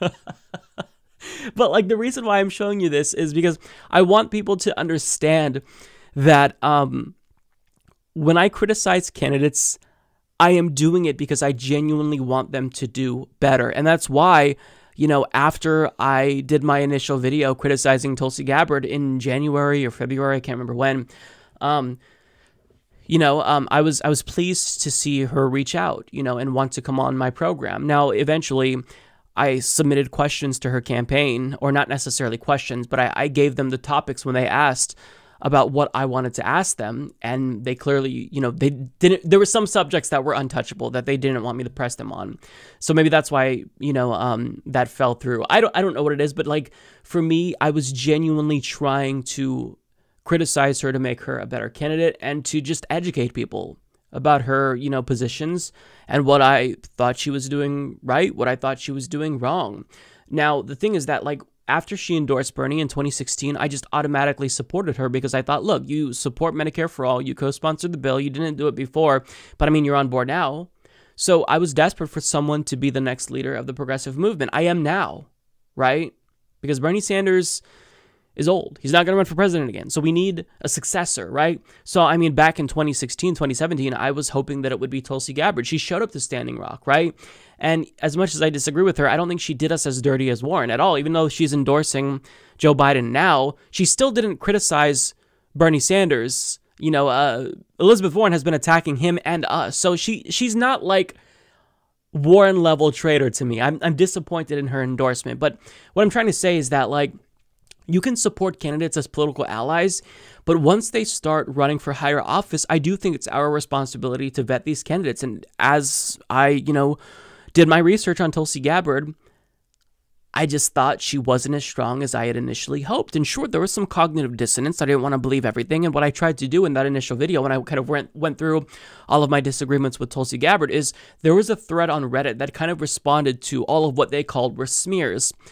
And I basically, anything that I disagreed with her on, I tried to debunk it and, and find, just so I could be extra courteous to her. And what was left in that video that I posted was just what I genuinely disagreed with her on and things that were open questions that I wanted her to answer. And we didn't get answers to a lot of the questions that I had. But I mean, people supported her overall because she did prioritize anti war. And that's fine. Like, uh, you can support whoever you want. Your support is not owed to Bernie Sanders, but you do have to acknowledge that there are other people who just disagree, right? I disagree. And that doesn't necessarily mean that I tried to tear down Tulsi Gabbard in, you know, stating where I disagreed with her. I think in some ways she brought good things to the table, but overall, I don't think she ran a good campaign. I think she ran a very poor campaign. Um, and that's not me saying that because I'm disappointed that she didn't endorse Bernie Sanders. It's me saying that because, objectively speaking, I think that during a Democratic Party primary, you do have to court the left. You have to try. And, you know, if you don't do that, especially if your base is kind of anti establishment, anti war Bernie Sanders supporters, then, you know, you could lose some support. I think a lot of you know, people who supported her were previous Bernie Sanders supporters, you know? So um, I, I, I don't think that she chose the correct lane this time around. Um, with Andrew Yang, I actually do think that he ran a good campaign. And Tulsi Gabbard is young, Andrew Yang is young, so if they ever want to come back, I'm sure that they can. I'm sure that they will run for president again. But just from me, personally speaking, now that 2020 is over, I absolutely refuse to support anyone that doesn't support Medicare for all, and I lose respect for anti-establishment candidates if you, uh, you know, fall in line like a good little soldier and back the establishment's choice. I respected Andrew Yang's decision to withhold an endorsement until someone in the race endorsed UBI. But he still endorsed Biden. And in fact, I think Tulsi Gabbard actually endorsed UBI. She picked up the mantle after Yang dropped out and he didn't endorse her. So, like, I would have respected if he just withheld an endorsement until the convention when it was officially over, right? But he didn't. I would have respected if Tulsi Gabbard didn't endorse anyone and she just ran into the convention, even though that doesn't, I mean, she doesn't have a path, right? But if she is doing that, then clearly she's not going to endorse anyone. But I mean, she chose to fall in line this time around. She didn't last time, and I will always appreciate that. Even if I don't, I don't know what her intentions were. I never will. You know, we can't read people. You just have to take them at their word, or we can't uh, read people exactly. You know. But I, what I'm trying to say is, look, in the future, these candidates will come back, and it sucks that she gave up her seat for a failed presidential run that ultimately led to her being um, less popular among a lot of progressives. But, you know, if she wants to come back in the future, and this goes for Andrew Yang and Marianne Williamson as well, people who I expect to see in the future. You have to really listen carefully to the left, listen to socialists, even if you're not socialist, and understand that there are some things that are just non negotiable, right? Um, Medicare for all is one of them. The minute that you start to equivocate on Medicare for all, I can't support you. And as pleased as I am as I alluded to, that Marianne Williamson endorsed Bernie, if she doesn't back Medicare for all in 2024, 2028, or for a congressional run, I can't get behind her because I'm just, I refuse to fall in line and support this disgusting, murderous capitalist system. I'm not voting for Joe Biden. I refuse to fall in line. You can't control me. I am my own person. And if you don't represent me, if you don't want to represent me, I won't vote for you. It's as simple as that. And I think that we are at a time where we have to demand and expect more from politicians, all of them, including Bernie Sanders. Like, we should have been maybe more vocal about the need for him to be more aggressive, and I just, I just think he doesn't have it in him at this point. Um, I, I don't, I don't think he does. But I mean, we have to, we have to be very vocal, and you can't basically be overly critical of a politician. I believe that. Certainly, we don't want to be too cynical. We don't want to try to drag them, you know, because we need allies. But at the same time, if you want to represent us, then you've got to acknowledge that we have very, very high standards. And if you don't live up to those standards, then we will call you out. It doesn't mean that we have to agree on 100% of the issues, but we will call you out. So, you know, let me end with this. To all of the Tulsi Gabbard supporters, I'm sorry that we all kind of butted heads You know, and it, it sucks that the Yang gang and Bernie bros and, you know, Tulsi supporters butted heads at times during this primary. Same with Marianne Williamson supporters. I criticized her too. But, like, at the end of the day, you've got to understand that it's all of us against the establishment. All of us against the establishment. So, if we can somehow come back together and acknowledge what a behemoth the establishment is, then I think that we will have a chance in the future. And I don't know if there's going to be one candidate who we can all collectively rally around. I don't know if that's going to be the case. But what I do know is that if you are anti establishment, acknowledge that people on your side may disagree with you, but they're still your allies. It doesn't mean that, you know, they should be hated. Now, the same is not true for Elizabeth Warren. Um, I absolutely am done with Elizabeth Warren. Uh, I think that she has burnt that bridge permanently, and I was absolutely wrong and laughably naive to try to give her a second chance in 2020. And it's not like I was going to vote for her, but I just, you know, I was willing to hear her out. But um, that, I'm burnt on that. But when it comes to the other anti establishment candidates, I can't imagine myself supporting Tulsi Gabbard. Um, I could see myself supporting Marianne Williamson if she embraced Medicare for all. I like what she says about foreign policy, um, U.S. policy in Latin America. I can maybe see myself supporting Andrew Yang if he moves away from the libertarian things, like if he embraces actual single payer Medicare for all and not a public option, or whatever it was that he was supporting. If he tweaks his UBI program a little bit more to stack on top of our existing social safety net, I can, you know, support him. But if these candidates come back and I criticize them, understand that it's coming from a place of love and wanting to just have a better future for America. And I'll leave that there. I kind of feel like I've been rambling here, but um, I didn't expect to make this video today. This is kind of unexpected that she dropped out, um, but it's not too surprising that she endorsed Biden. So, um, yeah, it's disappointing. Um, Tulsi Gabbard, unfortunately, she kind of went down in my book. I shouldn't say kind of, she substantially went down in my book running for president. But going forward in the future, whatever she does, because she's not going to return to Congress, I hope that she is going to fight for what's best for the country. You know, I don't agree that Joe Biden has the spirit of aloha. He's a terrible human being who would veto Medicare for all and let thousands of Americans die every single year. So I don't agree with her here. Maybe I'll never agree with her. You know, maybe she's just not a political ally like I thought she was, but just acknowledge that if you are a Tulsi supporter and um, you're genuinely anti war, then if there's another candidate that comes along in the future who is anti war, I think that we should put all of this that happened in 2020 behind us because we all got beat by the establishment. We all lost. And now we have to just figure out how to go forward. The establishment is unified, so we should somehow find a way to come together as well. So I'll leave that there.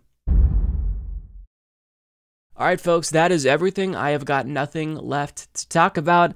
I will see you all next week, but before we go, as usual, I want to send a thank you and shout out to all of our Patreon, PayPal, and YouTube members for helping the show to not just survive, but thrive as well. Uh, I am off to go play Animal Crossing New Horizons. I hope that you will do the same. It's the perfect game during quarantine, and I hope that when the government is considering these types of response packages, UBI and whatnot, they also throw in a free Nintendo Switch and copy of Animal Crossing because it is the perfect game to have during quarantine to get your mind off of what seems like is uh, an apocalypse happening. So,